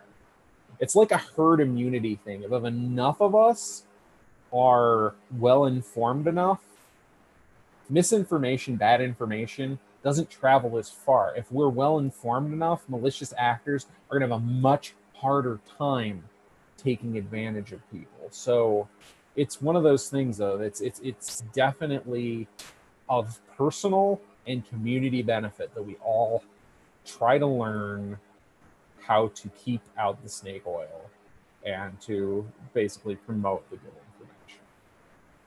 Okay. So uh hope everybody uh had a good time. know some of it gets a little heavy. Uh, I guess at this point, I'll ask if there are any uh, questions anybody has as far as uh, the material or anything else.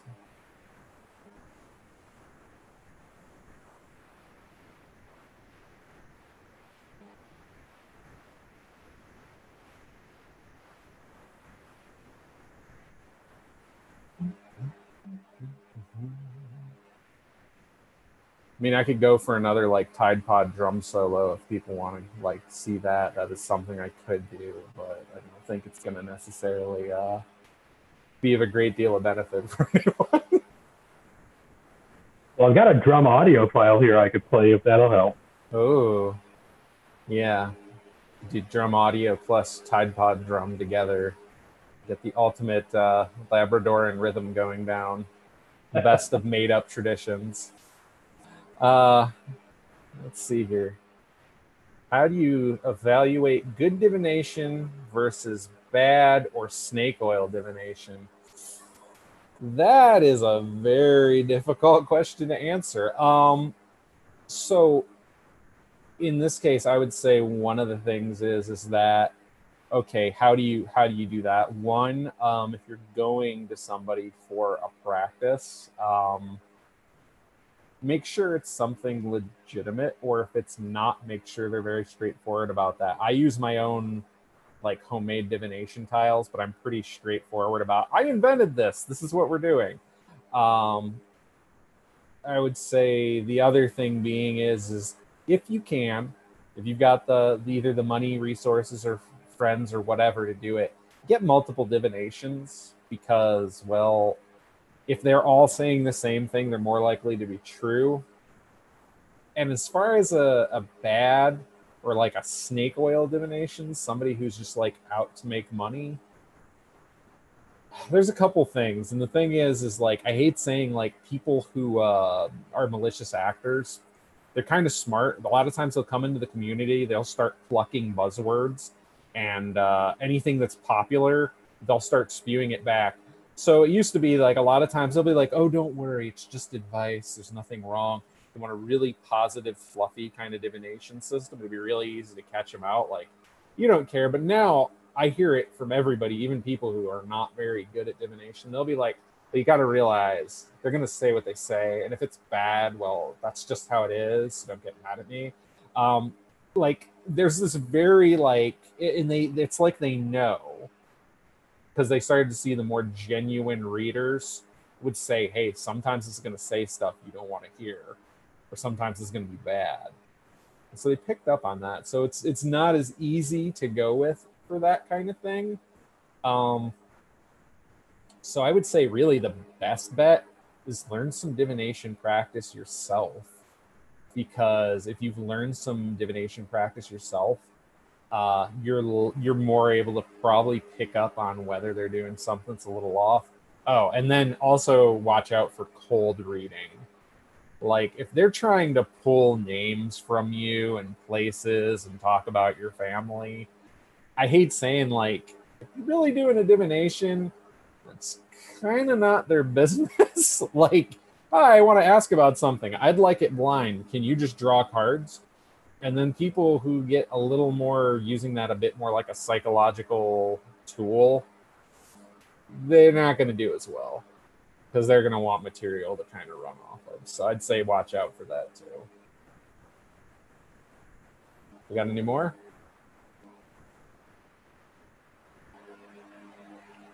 Uh, before you go since Sarenth's went ahead and plugged his uh, blog and patreon page. Not that i didn't want him to but I want to make sure you get the chance to do it as well if you have anything you want to promote here. Oh, this is a good question too. Are there divination practices that are more susceptible to cold readings, ones that folks should give more grains of salt to? Yeah, I'd say there's definitely something to that because um I mean I I would say there's definitely something to that because the more interpretational a thing can be, the easier it might be for somebody to kind of BS what the information is. I would, uh, you know, honestly, like that's a that's a good question because when I think about it, I'm like, it seems like I'd have an easier time if I was trying to mess with somebody. I'd use tarot cards because people see them on television. And if they've seen them on television, well, they know that they are magical and good. And so people are already a little bit in the headspace of, ooh, I'm going to get the reading. It's going to be it's going to be interesting and mysterious, and whatever they say is probably going to be all magical and great. Um, but you know, I would say I've I've often had it where I will get a reading and they're immediately asking me questions about, oh well, what is this about? Okay, well, who does it involve? Oh, I sense X. Is that is that correct? And so they'll they'll start trying to kind of calibrate to know who you are rather than try to let I think simple way to put it let the information flow into the medium rather than not. So I would say that as far as susceptibility goes, I'm going to say this, and this is like not a knock on them, but I am sure that for a lot of people, it'd be very easy to deceive them with the runes if they've never seen the runes. And if I were to cold read and I was really being tricky about it, I would have multiple divination set things, and I would be like, "Oh, well, what kind of divinations have you gotten before?" And when they name the ones they have, I'll go for the system they haven't seen because now I can BS all day long. So yeah, that's probably my thing. Is I'd say like watch watch for bait and switchy stuff. There's some scary magical, uh, what's it called, mentalism type tricks that can do that. Where, well, it seems like they they they predicted something, but they actually didn't. They they they forced a choice on you and you didn't know it. People are making a lot of great cold reading jokes in here.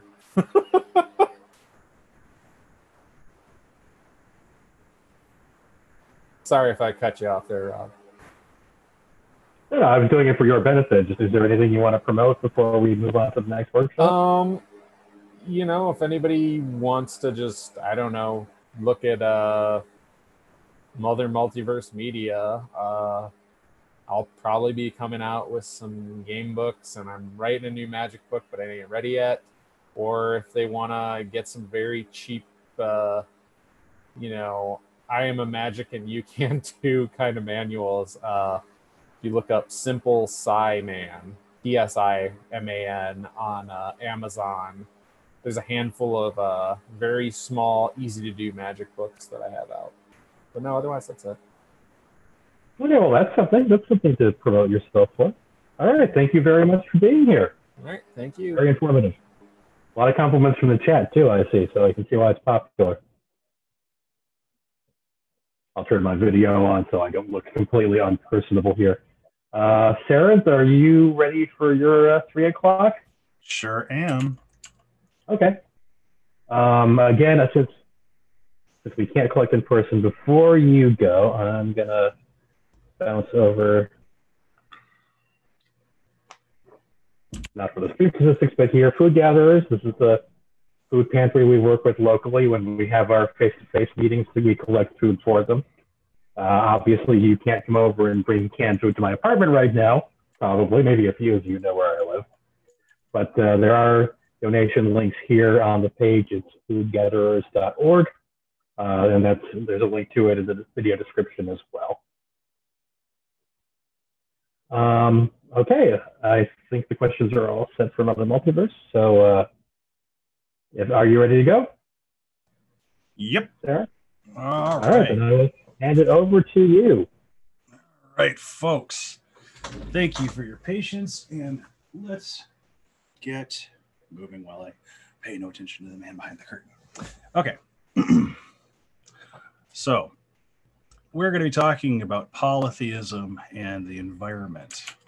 This is a polytheist response to peak oil and climate change. Now, what I'm going to do for everybody's convenience is I'm going to share the screen. I need to adjust my keyboard real quick here. And, oh, come back here. I got my notes on one device, I'm ready to go.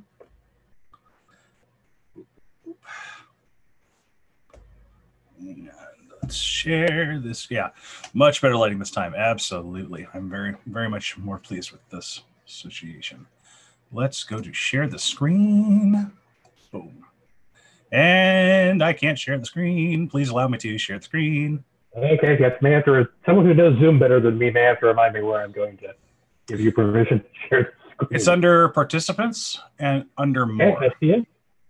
Okay, not put in waiting room, presumably. No, Uh, what am I looking for here? I believe it's under. Uh, you click that more button and it should allow Yeah, I me to. Well, I see chat, stop video, spotlight video, make host. Maybe I'll make you the host. I mean, that'll do it. I'll have That- record, put in waiting room. That'll do it. Which one? Put make host? hmm All right. Okay. You are go. Okay, and it's still streaming, no problem, and it should be recording to your desktop as previous. So, uh, actually, is the record button on for you? Uh, well, I'm not. I'm not recording it. I think YouTube Okay. recorded. So Okay, good, good, good. As long good. as it's still going on YouTube, we're we're good. Yeah, we're solid. Okay, so I can now share the screen. God's help you all. Okay. There is my little tablet. Thank you. Oh, my tablet. Oh, hello, tablet. Okay. Now I'm going to share the screen and up. Now,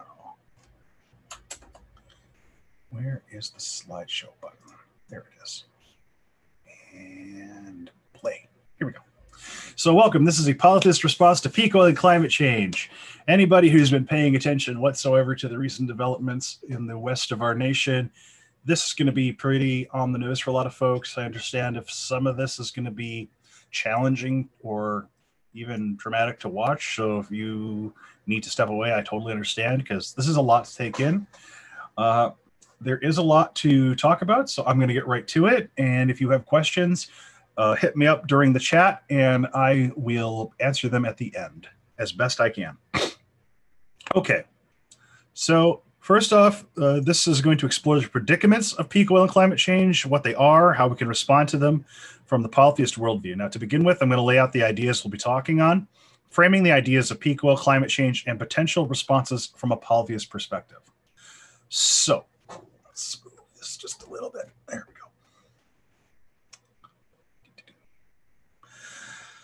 we go. so after that, we're going to open up the floor for discussion. So, what is this? We're talking about problems, predicaments, peak oil, climate change, permaculture, sustainability, polytheism, animism, right relationship, and reciprocity. Uh, we're going to quickly define these. We're going to move through this quick because I don't want to spend too much time, especially because I think most of our uh, watchers have seen the Polytheism 101, and I don't want to repeat myself too darn much. A problem is a matter or situation regarded as unwelcome or harmful, needing to be dealt with and overcome. A predicament is a difficult, unpleasant, or embarrassing situation. I use the Oxford English Dictionary for most of these. Heads up, it's at lexico.com. Definition of peak oil from peakoil.com. Peak oil is the point at which the demand for peak for oil outstrips the ability of the market to supply it. It is not running out of oil. It is the inability to meet supply demands. It is not, I will repeat, not, not, not, not, not running out of oil. Now, peak oil theory states that any finite resource will have a beginning, middle, and an end of production. At some point, it will meet the maximum level of output on your screens is what peak oil looks like. It is a bell curve. All resources go through this. Long story short, it is a matter of when and where that particular bell curve goes. Estimates for total recoverable oil on our planet is about 2 trillion barrels of oil. On a cumulative basis, we've pumped out one. We are halfway through the whole stock of the planet's oil resources, according to Financial Planning Magazine of October 05. 64 out of 98 oil producing nations, including the US and Saudi Arabia, have hit peak. That's according to lastoilshock.com. From the Wall Street Journal, April 26, 2017, oil shortage feared by 2020 as discoveries fall to record low. The IEA, International Energy Agency, says the US shale won't fill the void, which could lead to petroleum shortages and there is an excellent visualization which i won't click on. I assume that we can put these in the chat at some point and or link them in the accompanying video. While we are producing oil more and more of it is coming from non-conventional sources like shale rock fracked wells offshore oil sites. We've never produced as much of our own oil as we did in 1970 despite every increase in the ability to extract more out of the ground they require higher investments of capital and resources to access. And given these methods of oil extraction are more energy intensive and exploratory than conventional oil drilling methods, it means we're burning more oil, long story short, to find less oil. They're vastly more environmentally devastating because the methods used to extract them. Tight shale oil and fracking is grinding up heated rocks and sand and putting water through it so the oil can be extracted. Fracking involves punching horizontal wells in hard rock and then detonating explosives or pushing high pressure water and chemicals into tight rock to encourage oil to flow. At this point, peak oil is a predicament. There's no solution to it. I will repeat that. There's no solution to it. Predicaments don't have solutions. This is because of how much oil is being used versus being extracted. Whether you reckon we hit global peak back in 05 or 2015 or that it's down the road, it really it's a, it's an academic debate. It doesn't matter when this happens, it's going to happen sooner or later. Peak oil would be far less of an issue if our entire economy weren't predicated on cheap abundance for fuel and manufacture of goods. While there's plastic alternatives being developed, like plastics made from corn, avocado pits, and the like, there's no ability for any other fuel to scale or to do the things that oil does for us. This graphic is an International Energy Association analysis on Rystad data. It's conventional crude resources discovered and sanctioned year by year. You can notice the long term trend has been a slight peak in 06 and then in 2010 which is probably where our fracking boom came in and then a precipitous drop in 2011 and we have been on a downward decline ever since now approved resources versus discovered resources all of these are going trending down this is not good for our continued development, for our economic, economic growth, any of it. The growth in world oil supply demand, this is from Price Waterhouse Coopers. These are not fringe sites. This is Price Waterhouse Coopers. This is an investment portfolio, folks.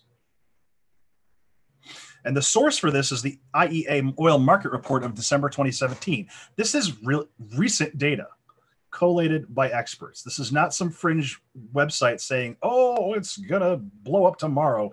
No, this is happening in real time. Companies are making future stock and purchase options of physical and stock resources based on this information now.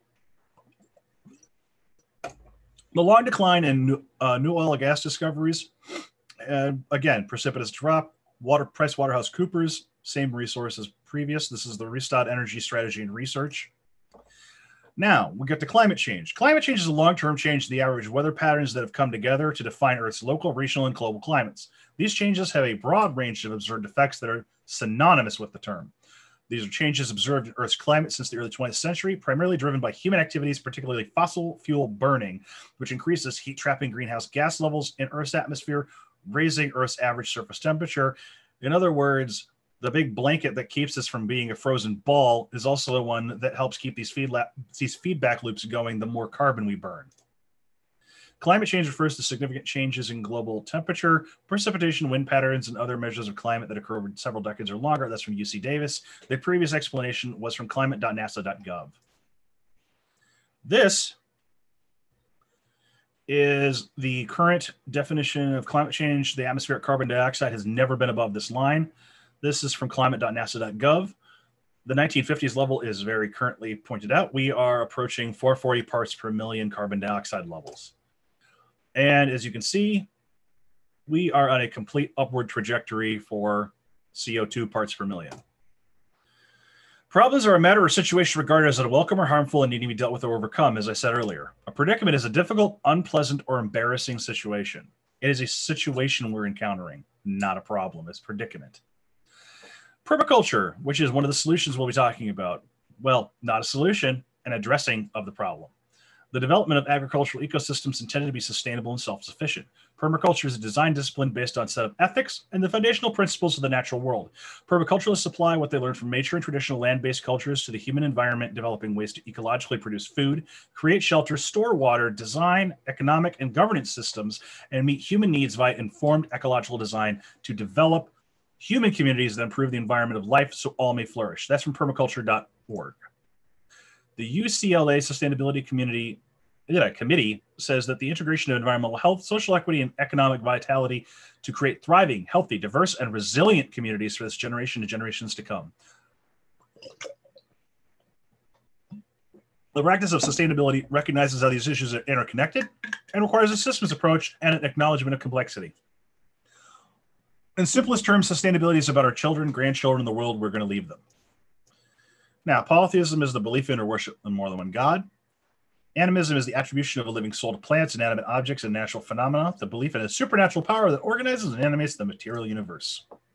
Right relationship to engage with the gods, ancestors, and Vaettir spirits, and reciprocity fulfillment of duties to, with them in our communities. So reciprocity has two definitions that I like to work with. There's the Old English Dictionary definition of the practice of exchanging things with others for mutual benefit, especially privileges granted by one country or organization. That's one way of looking at it. And then there's gift for gift, gift for a gift, and do ut des, I gifts that you may give. The acts that make and continue good relationships within polytheist worldviews, that's my definition. So a polytheist perspective on environment. Cosmology is prime. How what does cosmology do for us? Well, we talked about in Polytheism 101, cosmology is how we relate to the world around us, where's our place, and it's a living worldview. We exist in co-creation with God's ancestors and spirits, the latter includes us. Again, I'm not going to spend too much time on polytheism because, uh, well, there's Polytheism 101. If you haven't seen it yet, it will be up on YouTube. So, the air we breathe and things that allow our cars to run, as well as the cars themselves, are potentially, if not actually, ensouled. We have gods and goddesses of air, earth, water, fire, ice, so on and so forth. Oil itself is made up of dead plants and animals compressed into an energy dense and toxic substance. How we treat these dead matters a great deal. When you stop relating to oil as merely a resource and you relate to it as the dead in your gas tank, it takes on a different feel.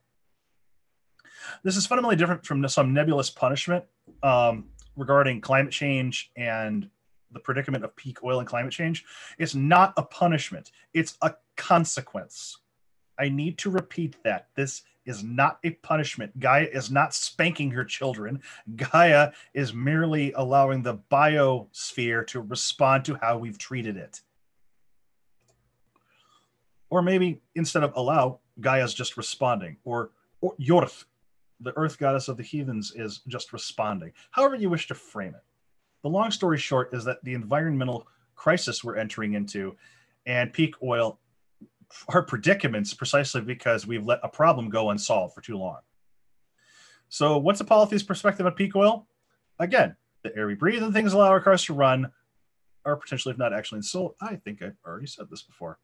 Uh, the peak oil is not running out of gas, it's not running out of crude. It's the point at which the energy return on energy invested becomes so low it's not worth investing time and energy to get it out of the ground. Oil used to be about 100 to 1 in terms of energy per barrel of oil. Now it's 30 to 1 today if I got 100 bucks for every buck I spent, that's a huge return on investment. And 30 to 1 is also a huge return. The problem is that between the systems we fed up, we've set up, it's not like a 30 to 1 dollar amount because that 30 to 1 dollar amount encapsulates also the energy you have to get that one dollar. That 30 bucks is being continuously spent. So it's not a proper ratio. It's more like an amortization on a mortgage where the required input goes up, not down every year.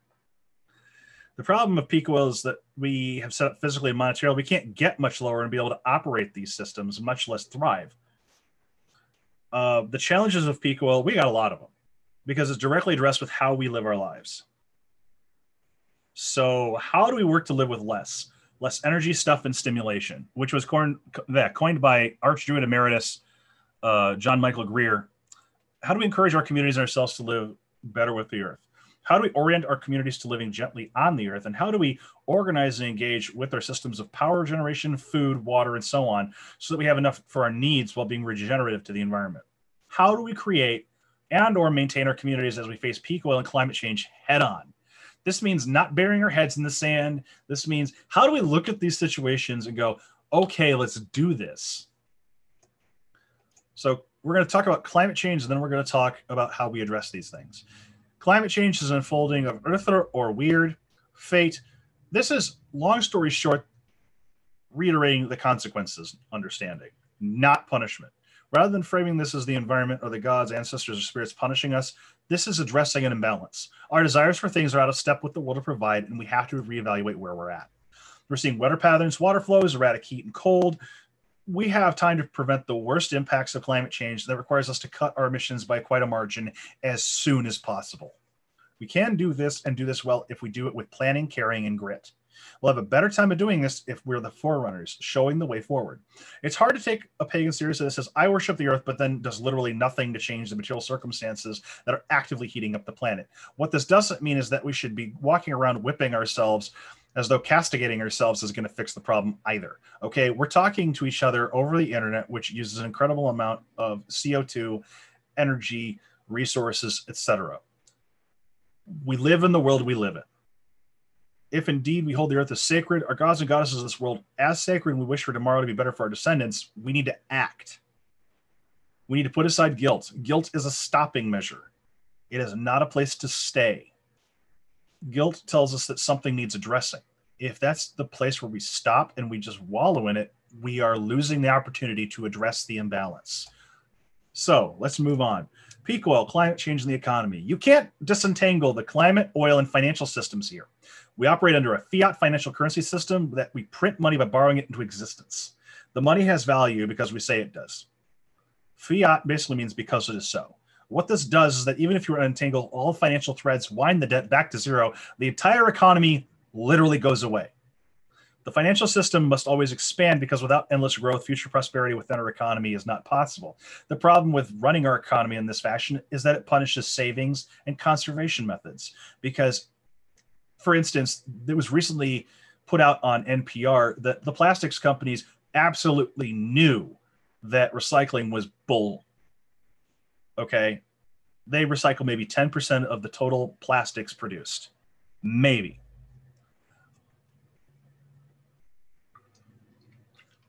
Now, why would they sell recycling to us as a concept if they knew that so little of it would be possible, if not profitable, because that way they could produce more plastic and we'd ignore the problem. Long story short, we have to disentangle the financial incentives that allow the economy to function the way it does. And this isn't capitalist, it's not anti capitalist, it's just reality. Whatever your economic philosophy is, we cannot continue to operate the way we are. Without the financial system demanding endless growth, you would not have the kinds of demands put on the environment drilling for oil to make plastics we buy for everything from car parts to saran wrap because there's no enough in this economy. Because between planned obsolescence and the very way the market functions, there's no enough. You have to keep producing in order to keep the profits rolling in, in order to keep the economic engine turning.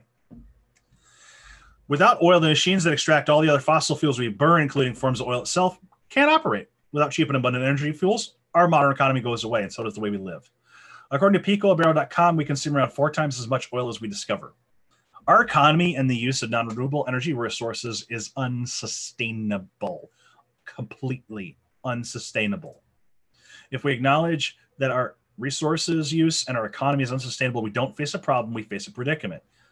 John L. Michael Greer's definition here is excellent. A problem calls for a solution. The only question is whether one can be found, made to work, and once this is done, the problem's solved. A predicament, by contrast, has no solution. Faced with a predicament, people come up with responses. Those responses may succeed, they may fail, or they may fall somewhere in between, but none of them solves it in the sense that none of them make it go away. You do not make climate change go away. You don't make peak oil go away. At this point, our job is to mitigate the worst of both situations. So, how do we address these predicaments? I'll tell you what we don't do. We don't go to utopianism and we don't do apocalyptic stories. They're both useless. These are stock responses that people have when looking at peak oil and climate change. One's the notion that somehow a nebulous they is going to fix this thing, whether it's ascended masters or the latest tech wizards.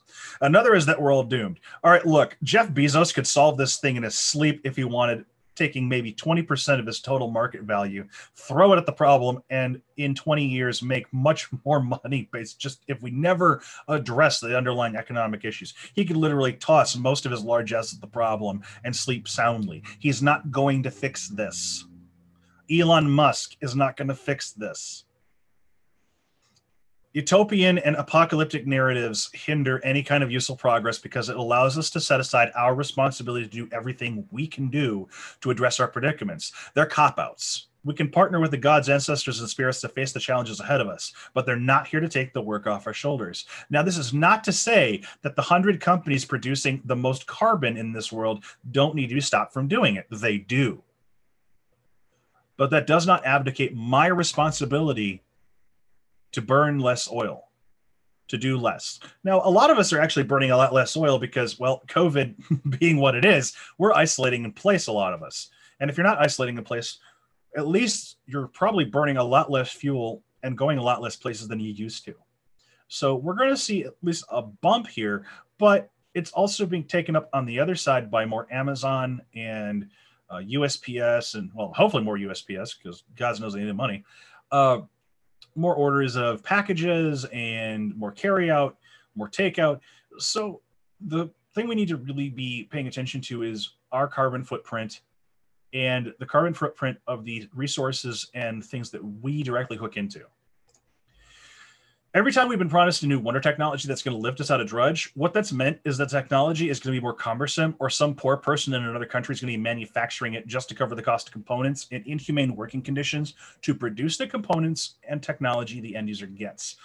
Any of us who carries a cell phone or what have you is complicit. That's not to shame. I have a cell phone. I intend to use it till this thing drops dead. This is probably my last new cell phone.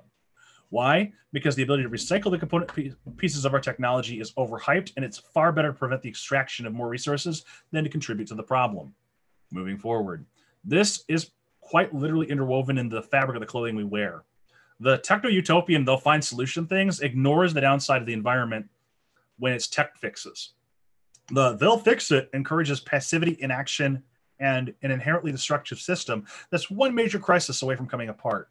The just in time delivery system is a pure great example of this. Amazon can get you that part you need tomorrow as long as it has in stock, has cheap, abundant energy, and enough people paying in Prime memberships with government kickbacks to provide that part at the cheapest price so they make the most profit from the sale.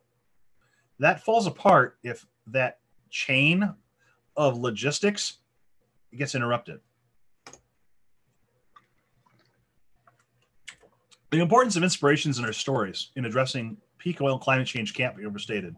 What empowers us is important. As polytheists, our cosmologies are alive with gods, ancestors, spirits, all their myths and stories. And rather than giving into the delusion of utopia dreams or apocalypse, inspiration can come from our relationships with the gods, ancestors, spirits, their myths and stories. And it can come directly from our relationships with them. Our gods overcome immense odds and not always through sheer strength. It helps us to take a closer look at all our myths and not merely rely on the interpretation of academics really dig into the myths and think about what they mean for us. Like Ragnarok's a great example. It's not just an ending, it's also a beginning. What precipitates Ragnarok? What does Fenris Ulfr represent? What does he do when he's loosed? How is he bound? What does it say that Odin orders Fenris to be bound and is eaten later by the wolf? We can take inspiration to do things different.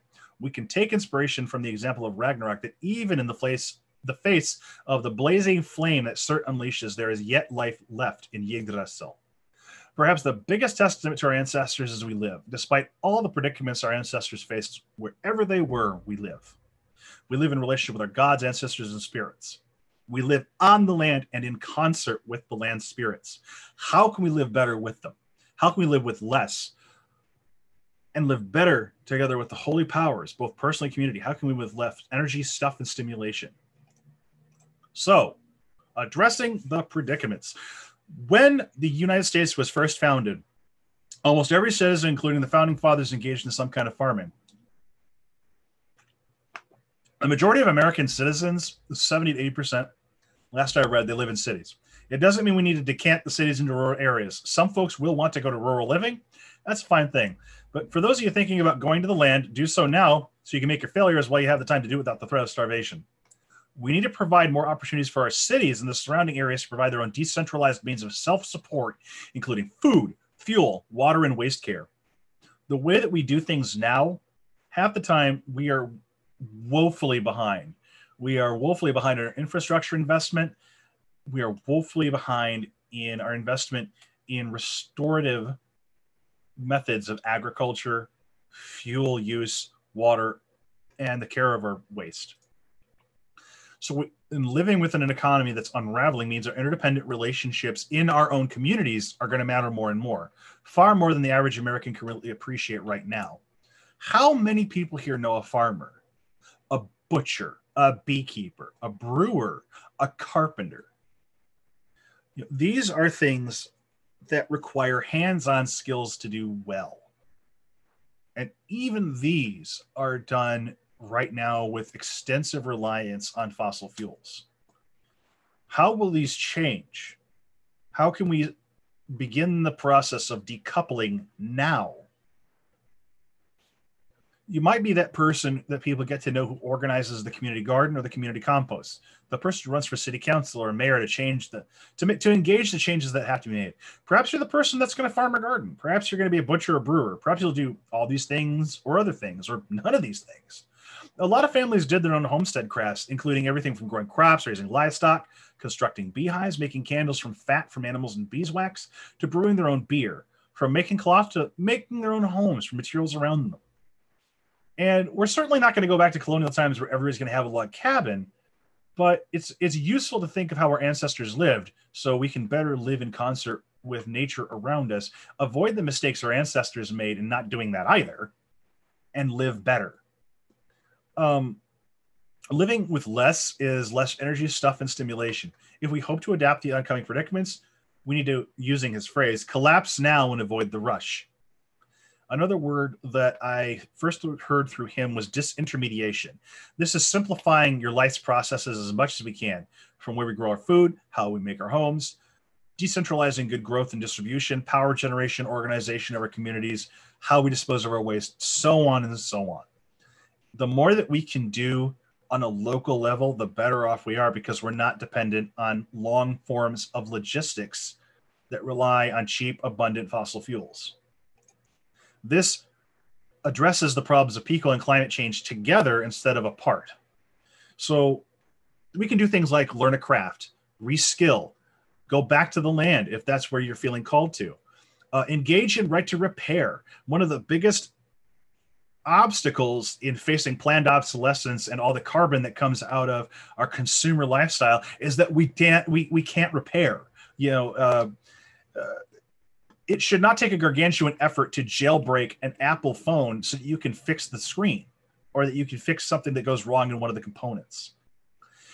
Um, something that i got turned on to again by jmg john michael greer was the appropriate tech movement. And this is appropriate tech was um, basically one of the early pioneers of solar and wind in use for home. They're a great resource to look at. There's a lot that's been uh, developed since the Green Wizardry groups that um, JMG and uh, his cohorts have founded since are kind of the modern reflection of this. Uh, get into DIY, do as much as you can. Trial and error is not something to be afraid of. Um, you know, I to put it this way, I blew up my first keg of mead because I made a mistake. Now, gratefully, I wrapped that keg in a blanket, and so I didn't have glass shards everywhere. But mistakes happen. I learned from that mistake, and I became a better homebrewer for it. You're gonna make mistakes. You're gonna waste resources, but by passing on expertise to the next generation, that is going to save us all a lot of time and resources. You don't have to go shop at, you know, your your big big beer distributors. I mean, we're spoiled for choice here as far as craft brewing goes in, in Michigan. So, do DIY, whether it's repairing a faucet or what have you. I mean, if, if you need a if you need an expert, like just be be real and get an expert. But within your own capacity to do things, do things Um, engage in community action projects. You know, I'm not a plumber. I need to call a plumber in if something is beyond my ken to deal with. You know, if if I need something for my water source related needs to be rerouted or it's flooding or whatever, I'm not the guy to do it. But that means I reach out to my community and I say, hey, I need this thing done. And we're still at the point where there's enough plumbers around that it's not going to break the bank for me to bring one in. So, community action projects start now. Collapse now and avoid the rush. Start with hobbies crochet, knit, garden, leatherwork, brew. Find a hobby, embrace it. Um, if you find a hobby that hooks into your hobby, like the primary source of ingredients for your hobby, like if you like to weave but you can't raise sheep, invest in a local herder. Right now, wool is cheap. There's a huge lack of investment in it. If you want to cook but you can't raise all or most of your crops, invest in a CSA, invest in your local farmer.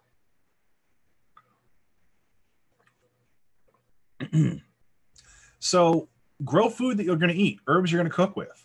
And you can do this whether you're in a high rise or you're in, you know, uh, huge tracts of land all around you you can grow food you're going to eat and herbs you cook with. Can make jams, jellies with the things you eat.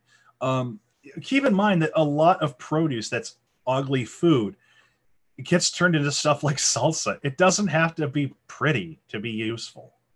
Get used to eating as much as you can in season now. Far better with most of this stuff to collapse down, and avoid the rush.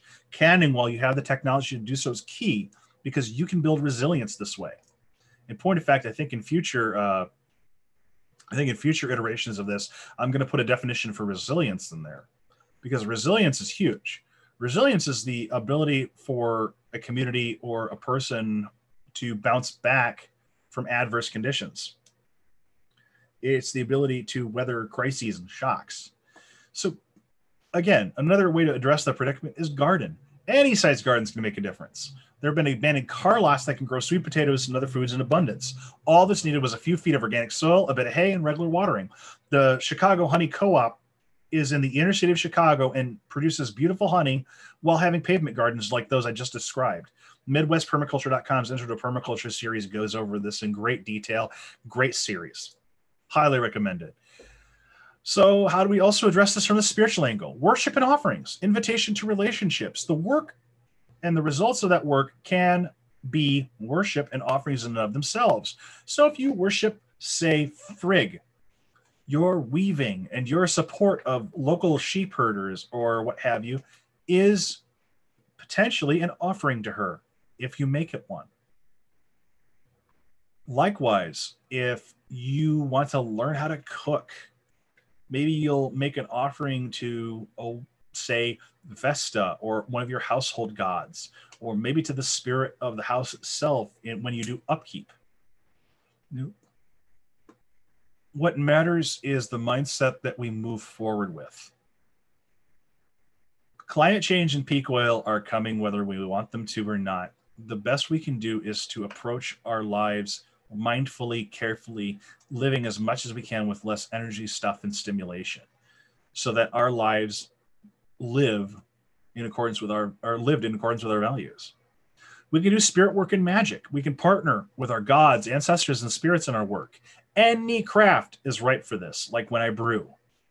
Um, I'm not just engaging in uh, a craft hobby I like, I'm also engaging with the gods of brewing, with Odin and Gunlod, with Freya, with the bees as the physical beings.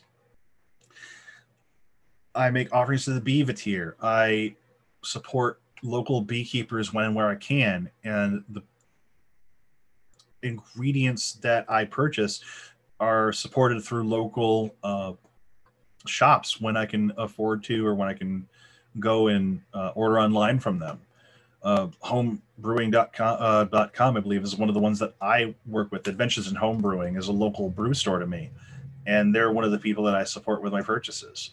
And so, any any craft, any pursuit in this addressing of climate change and peak oil is one step in the right direction, is one step forward.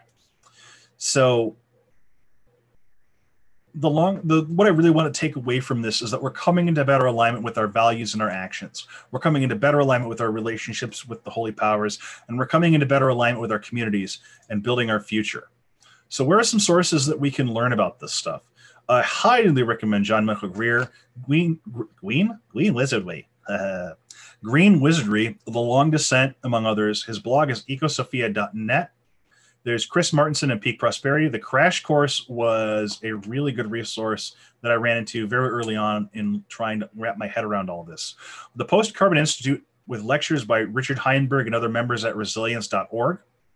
Uh, there's the Crossroads, the Crossing Hedgerow Sanctuary that I am a member of, a co-founder of the foundation for, and there's also Living Roots Creations. Check out her Patreon and her Witchy Weed Wednesdays. She talks about and works with the spirits of local plants. So definitely check her work out. Uh, Crossing Hedgerow Sanctuary is local. It is a pagan sanctuary, 501c3, and we are an ongoing effort to bring pagans of all stripes and anybody else who really wants to come and reconnect with nature in a permaculture space, a permaculture farm space. Uh, we got a bunch of projects in the works right now that we are hoping will bring the pagan community together to work with and on the land. And again, check out Living Roots Creations. Check out our Patreon, Witchy Weed Wednesdays. Deanne Bednar and the folks at Strawbale Studio in Oxford, Michigan. These folks are amazing. Their workshops are definitely worth taking. There's the Enright Ridge Urban Eco Village in Price Hill, Cincinnati, Ohio. The Carbon Free Home by Stephen and Rebecca Hren. I definitely recommend you look that up. Then there's also the Chicago Honey Co-op that I uh, talked about earlier. You can also email me at sarenth at gmail.com. So at this point, we're going to open up the floor for discussion. I am going to kill the screen share. And I'm going to pull up my little thing here. There we go. So, all right. Can you pass host back to me while we're waiting for questions? Um, what? you, you pass host back to me so I can oh. be able to play the drums while we're, we're finishing up. So oh, right. I can't do it. I can't speak here. Yeah. Yeah, I can uh, pass those resources to you right quick. Ba, ba, ba, Whoops. Huh. You probably want that in text form.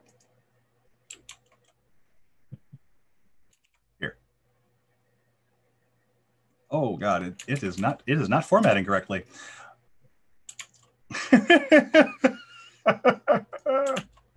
That's not. I muted myself there. No, I was asking you to, to, make me the Zoom host again. Oh, right. Duh. Okay. You can, you can send me the other stuff later. Right. Okay. Hang on. Make host. There we go. Yes, I want to change the host. There we go. It's the host right. with the most. Thank you. Mm-hmm. Oh. So while I'm waiting for questions, do you have any? Any thoughts, questions? Was you asking me personally, or?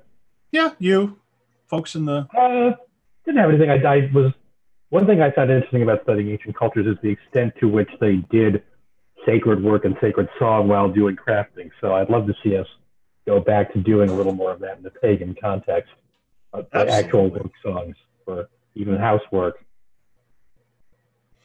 yeah, I mean, um, I I would love to see more of that kind of down home singing come back. Uh, ooh, okay, here we go. Here's a question. I'd love to hear more about what Crossing Hedgerows is doing locally if no one has discussion stuff. So, most of our work right now is based around getting the sanctuary up and running. So in the future, some of our build projects are making a, a Celtic roundhouse.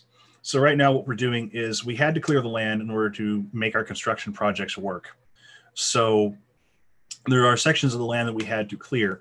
Now, the process that we did for doing that was we went to the spirits, made our offerings, said, Is this something that you're willing to allow us to do? They said, Yes, we understand what you're doing.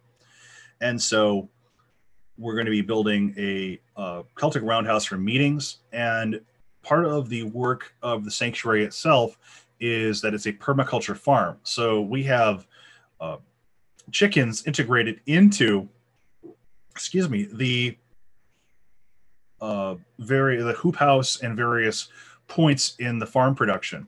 So, for instance, last week I was uh, cleaning out the chicken coop, and what the chicken coop does is we provide grains, but also greens for the chickens to eat that we can't eat which is a time honored practice because that's one of the things of raising animals for meat is they can eat the stuff that we humans can't. And they're a way of biomass to accumulate and to produce things such as eggs cheese you know uh, milk of course which we turn into various products from cheese yogurt um, so on and so forth.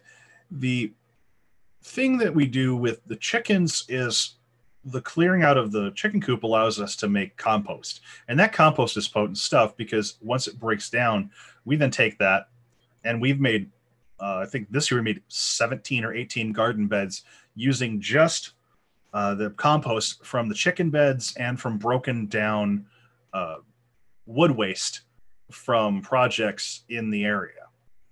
The reason that we're doing so much land clearing right now is to provide infrastructure for water drainage so that we're not flooding every time the, the Swan Creek floods.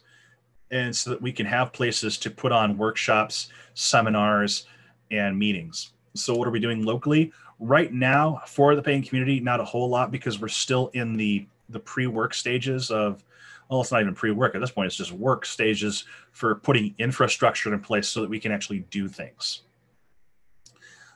yeah, I, I'm I'm really proud of the work we've done. We've been around for two years. and in that time, we went from well, this is a really cool idea. How are we going to do this? To oh my gods, we're building stuff.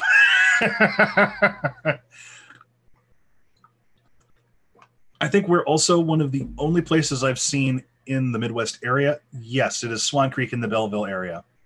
Uh, go to crossinghedgerows.com and I will put that link in the uh, chat description. Yeah, I, I grew up there near, near there too. Um, and you can see um, on our website the latest news and photos, our mission statement, how to donate, how to stay in touch, our calendar, who the board members are, and group rental information if you want to come out and rent the place. And we have a uh, we've just updated our blog relatively recently so i definitely recommend folks check us out.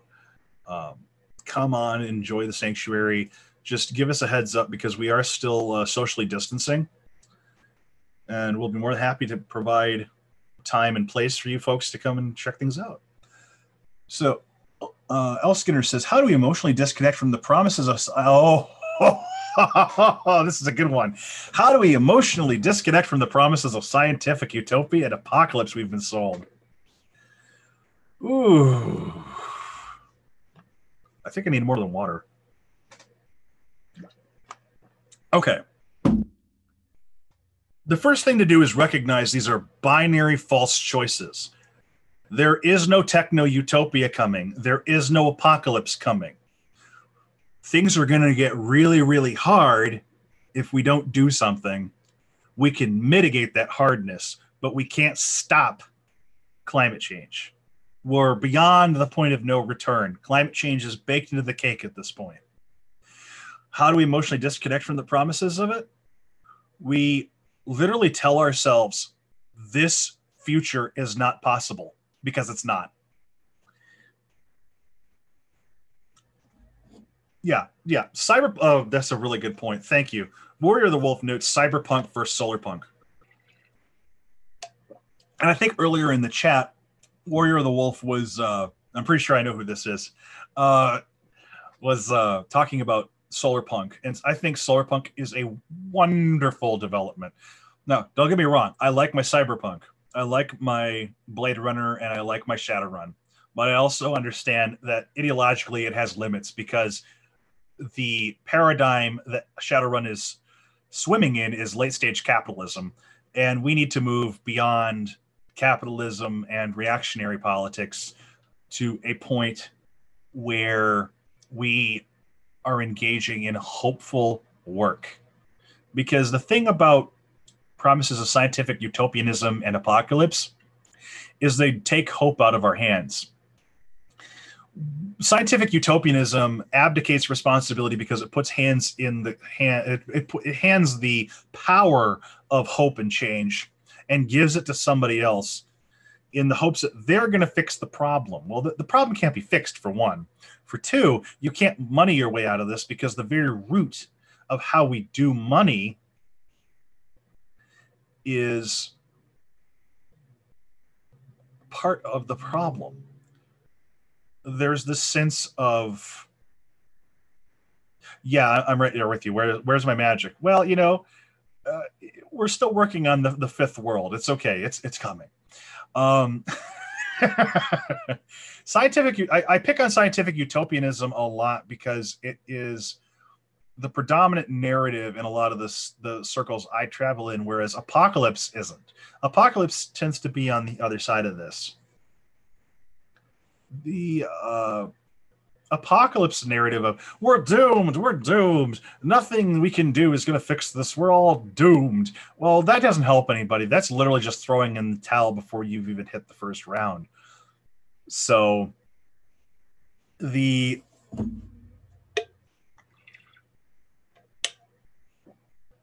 the problem with apocalypse narratives is, the exact same problem with utopian narratives. They're two sides of the same coin. Both of them take your power to do anything, put it in somebody else's hands, and say it's all good. God or the Ascendant Masters or the you know Jeff Bezos, Elon Musk types are going to fix this. Um, and it's just not going to happen. These guys have a vested interest in not fixing the problem. So we need to, as citizens of the world, as individuals, we don't need to follow the same narrative. Um, we may find that disunity in this case, decentralization, following different paths, even if we have the same kind of ideas in mind, are going to be much more useful to us than trying to go one way in part because trying a Texas solution in Michigan may not work. And that's not because, you know, Texans are stupid and Michiganders are smart or vice versa. It's because we're in, in different environments. We're in, we're in the Great Lakes and they're not. So our solutions need to be geared toward our environment if there are problems that we're going to address with the local landscape, such as dam removal, those are problems we can fix. By the way, we can't fix the overall the overall predicament of climate change or peak oil, but there are things that we can fix to make it easier. So, putting our eggs in the basket of scientific utopianism and apocalypse takes our ability to problem solve what things are within our grasp to solve and then take our responsibility and tosses it out of our hands into somebody else's lap and says, "Here you go." And that is simultaneously really gross because it abdicates our responsibility, but then it puts them on a pedestal even more so than they already are by the way the system functions. To please save me from myself. So this is a this is a problem. And as polytheists, I think that we owe our ourselves if not our gods, ancestors, and spirits, a better way forward than I'm going to trust in Elon Musk. Sorry. As Spider Biker pointed out, Elon literally wants to run away to Mars. What do I recommend as practices without those towards medieval crafts?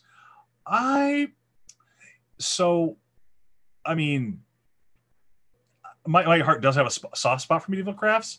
I think anything that supports lower impact on the environment is great. And that can be buying lo- local food, gardening. It can be, uh, I grow one plant in a pot. That's one less plant that I purchase from somebody else. That's one less plant that somebody who's being taken advantage of in a rotten worker situation. You know, it's not just one aspect of you know environmental justice or addressing peak oil or addressing climate change these things are intertwined.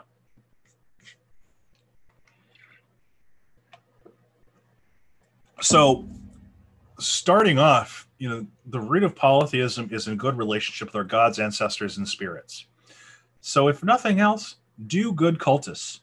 make offerings of food you've grown yourself or that you've supported through uh, CSAs or your local farmer.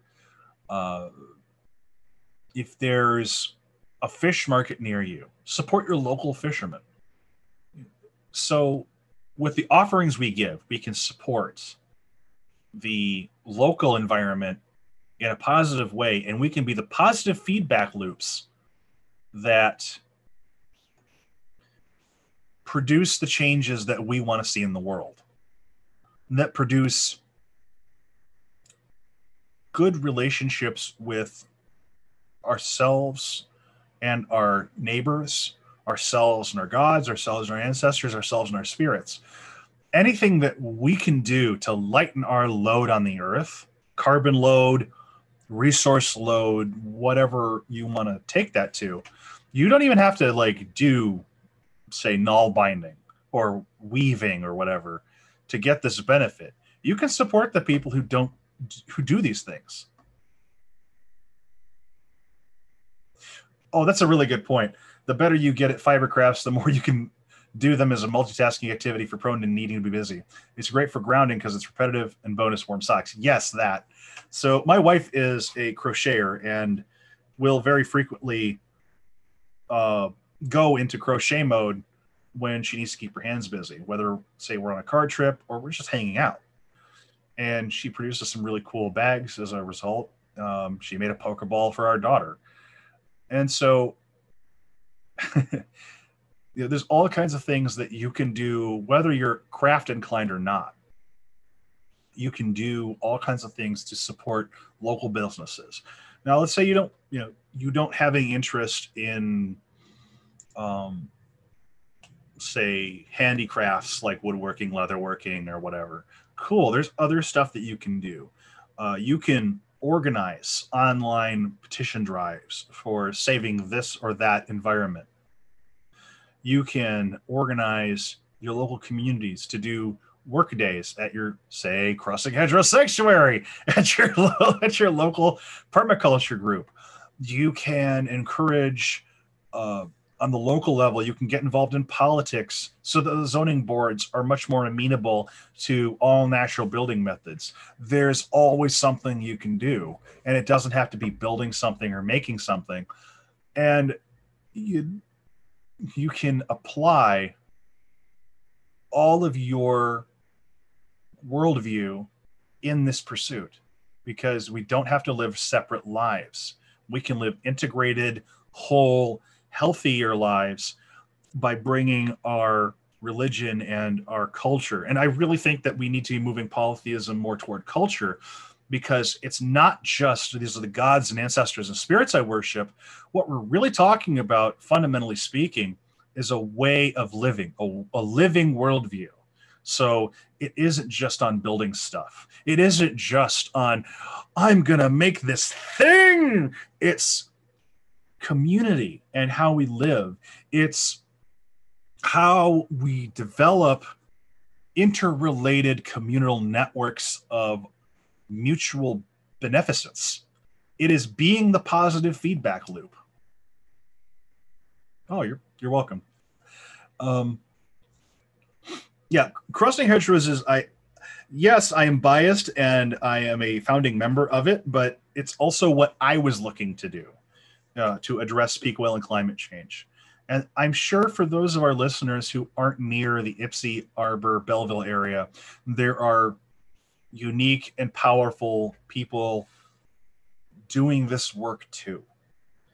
Look up your local transition town movements. Look up your local. Oh, damn, that's one thing I really wish I'd remember to put in my notes. Transition town, um, permaculture groups, permaculture design groups if you're not in the Michigan area, I don't know what to tell you because this is mainly where I'm based. But for those who are watching this online, talk with your local people. You know, if there's no transition town in your area, maybe think about starting one. Um, look at the transition town uh, handbook. Uh, engage in exchange with folks who are interested in the same stuff you are. Community building is huge because at the end of the day, what we're talking about fundamentally is going to uproot and reorient our entire world. Peak oil and climate change are going to take the long chain, complex logistics systems and upend them. We need to be preparing for that. Not because we're worried about some doom and gloom Mad Max scenario. It's a question of logistics in terms of food distribution. It's not that we don't make enough food for everybody, it's distribution. This is why food deserts ex- exist. This is the integration of restorative justice into how we produce and distribute and do food. This is how we integrate re- restorative justice into the products we make. This is how we integrate Black, Latino, Indigenous ways of understanding the world and all these communities. There is so much potential for restorative justice in reorienting ourselves on the local level in no small part because we have to reintegrate our fractured atomized lives into the places we're living again and look at them as living connections with our neighbors and that can be pretty damn intimidating when, for the last 20, 30 years, we have existed as an atomized individualistic culture. And now we're looking at a legit, way more collectivist future if we're going to be able to effectively move to address these predicaments. So, this isn't just the pagan community needing to talk to itself or the polytheist community is needing to talk to itself, although that does really need to happen down these lines. It's also talking with our Christian and Muslim and other neighbors. This is talking with our Jewish neighbors. This is talking with our Baha'i neighbors. This is talking with our Sikh neighbors. This is living in this world as interconnected people. And that can be quite intimidating. And I don't expect people to get over that intimidation in a day, but it's something worth considering that if you actually had to live on the local level without the intermediation of Amazon and Facebook and everything else, how would you live your life? So, this is also about decoupling your life from mass communication and actually getting to know your neighbors. This might be getting to know the people if you're living in an apartment, and this can be intimidating, but this can be getting to know your apartment neighbors. You know, this is going to be checking up on each other in a much more intimate way than many people are used to. Um, so this is integrating your magic into things that empower you, your community, and bring beauty in a continuous way to the world this is putting an offering down that can biodegrade, that isn't going to harm. This is being mindful of what you buy, how you buy it, where it goes, what it does. So, this is integrating your life with the fullness of polytheism in looking at it in terms of how do we address these predicaments? How do we relate to one another? And how do we decouple ourselves from the massive, sprawling infrastructure, which is ready to crumble once this really gets going? This is integrating polytheism to every corner of your life, really. So, addressing peak oil and climate change is living more mindfully, more fully within the polytheist mindset. Addressing peak oil and climate change is the application of polytheism's worldview to how we live in and on and with our gods of the earth, our Landvaettir, our ancestors, our gods in general. So this is looking at how are we to live. And everybody's going to have different answers and some of them might butt heads against each other, and that's okay. You do not have to agree with me for your method of addressing to be useful and valuable. So I heavily recommend that folks take a really good look at permaculture, at regenerative and restorative agriculture, at silvopasturing. So there's an entire plethora of things that you can look at. but I would start with permaculture, regenerative agriculture, um, and regenerative farming techniques. And some of these are going to involve how we uh, live on the land and how we get our food. And these are going to, you know, these are affecting our everyday life choices. So this is not anything to to really like take on willy nilly, and it's also not anything to take on with deep fear. This is how we relate to the world, folks. Just sit down, think about it, talk it out with your friends, talk it out with your community members. And and Rob makes a really good point. Disagreeing is an important part of polytheism. Yes, absolutely. And not having to arrive at the same conclusion, even if we agree that this is the predicament and this is what needs to happen in terms of we need to address this problem, we can disagree with the particulars on how we do that. So I won't give you any across the board, this is how we solve this. There is no solving it. And there is no universal addressing of this issue either this is something for every community to come together and say, well, this is the situation. We accept that these are the facts in the ground. Now, how do we move forward? So, um, if folks don't have any other questions, I think that is the end.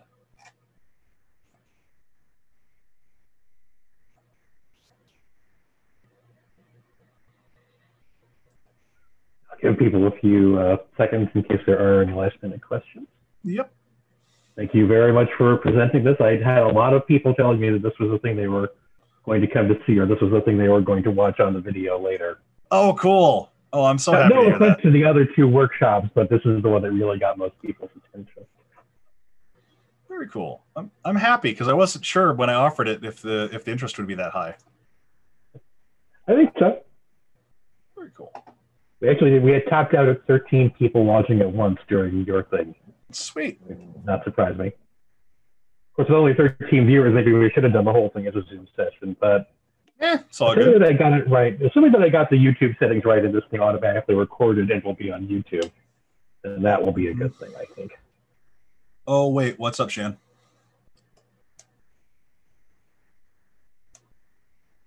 Um, I don't know.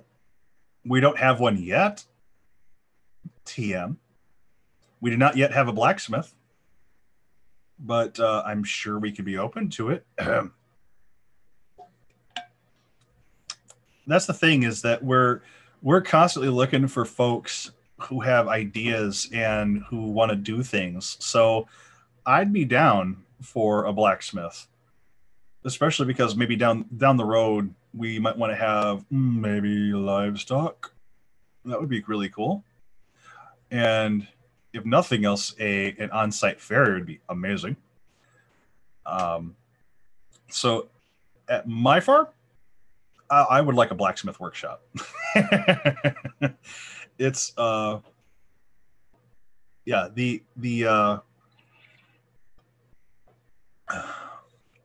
long story short is that we're really open to a lot of ideas and a lot of ways of uh, addressing the predicament and if if folks want to contribute in different ways we're we're rather open to that so if you've got an idea or something that you want to explore bring it on bring it on let us know about it and we'll see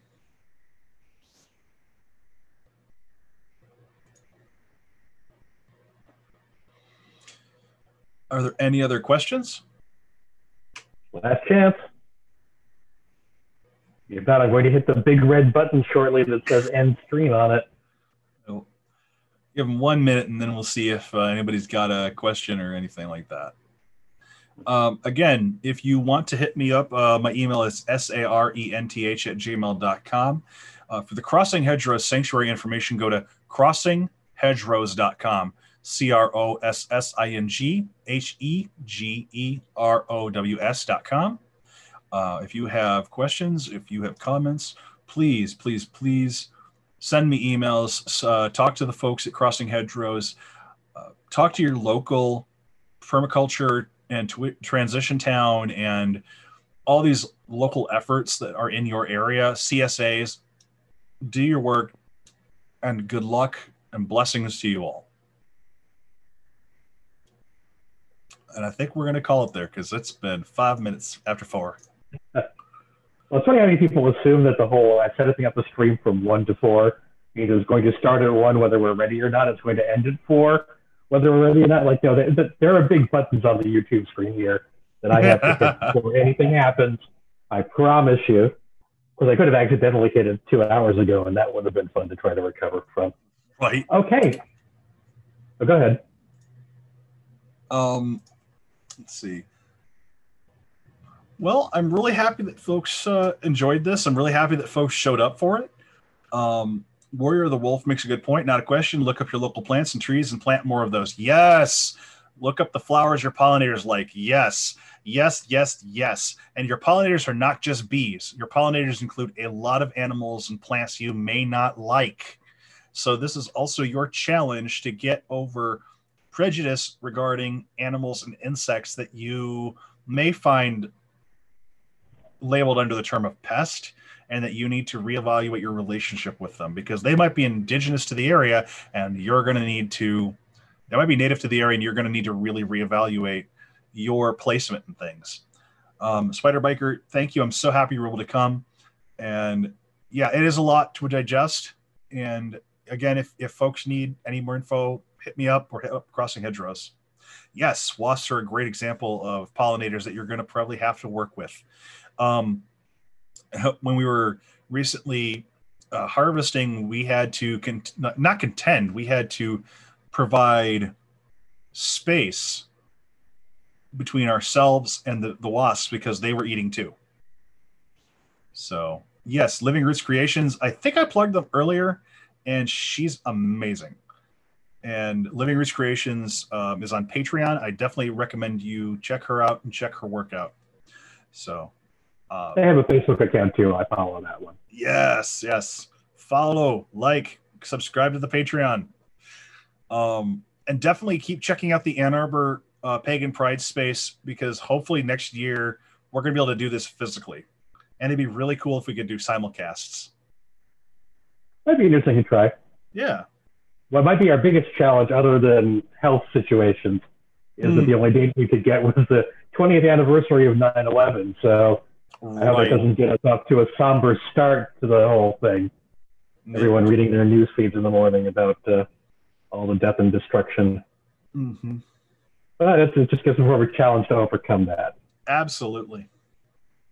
Okay, thank you very much for your presentation. Thank you everyone for coming. Uh, if I did this correctly, this video will be available on YouTube indefinitely. If not, then consider yourselves an exclusive group who got to see this thing that will accidentally be deleted.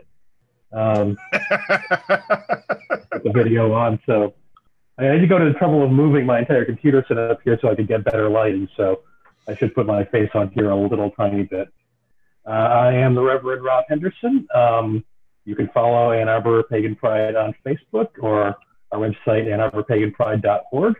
We don't do a lot of events, but we will. Um, we are aiming to do our face-to-face event again September 11th, 2021.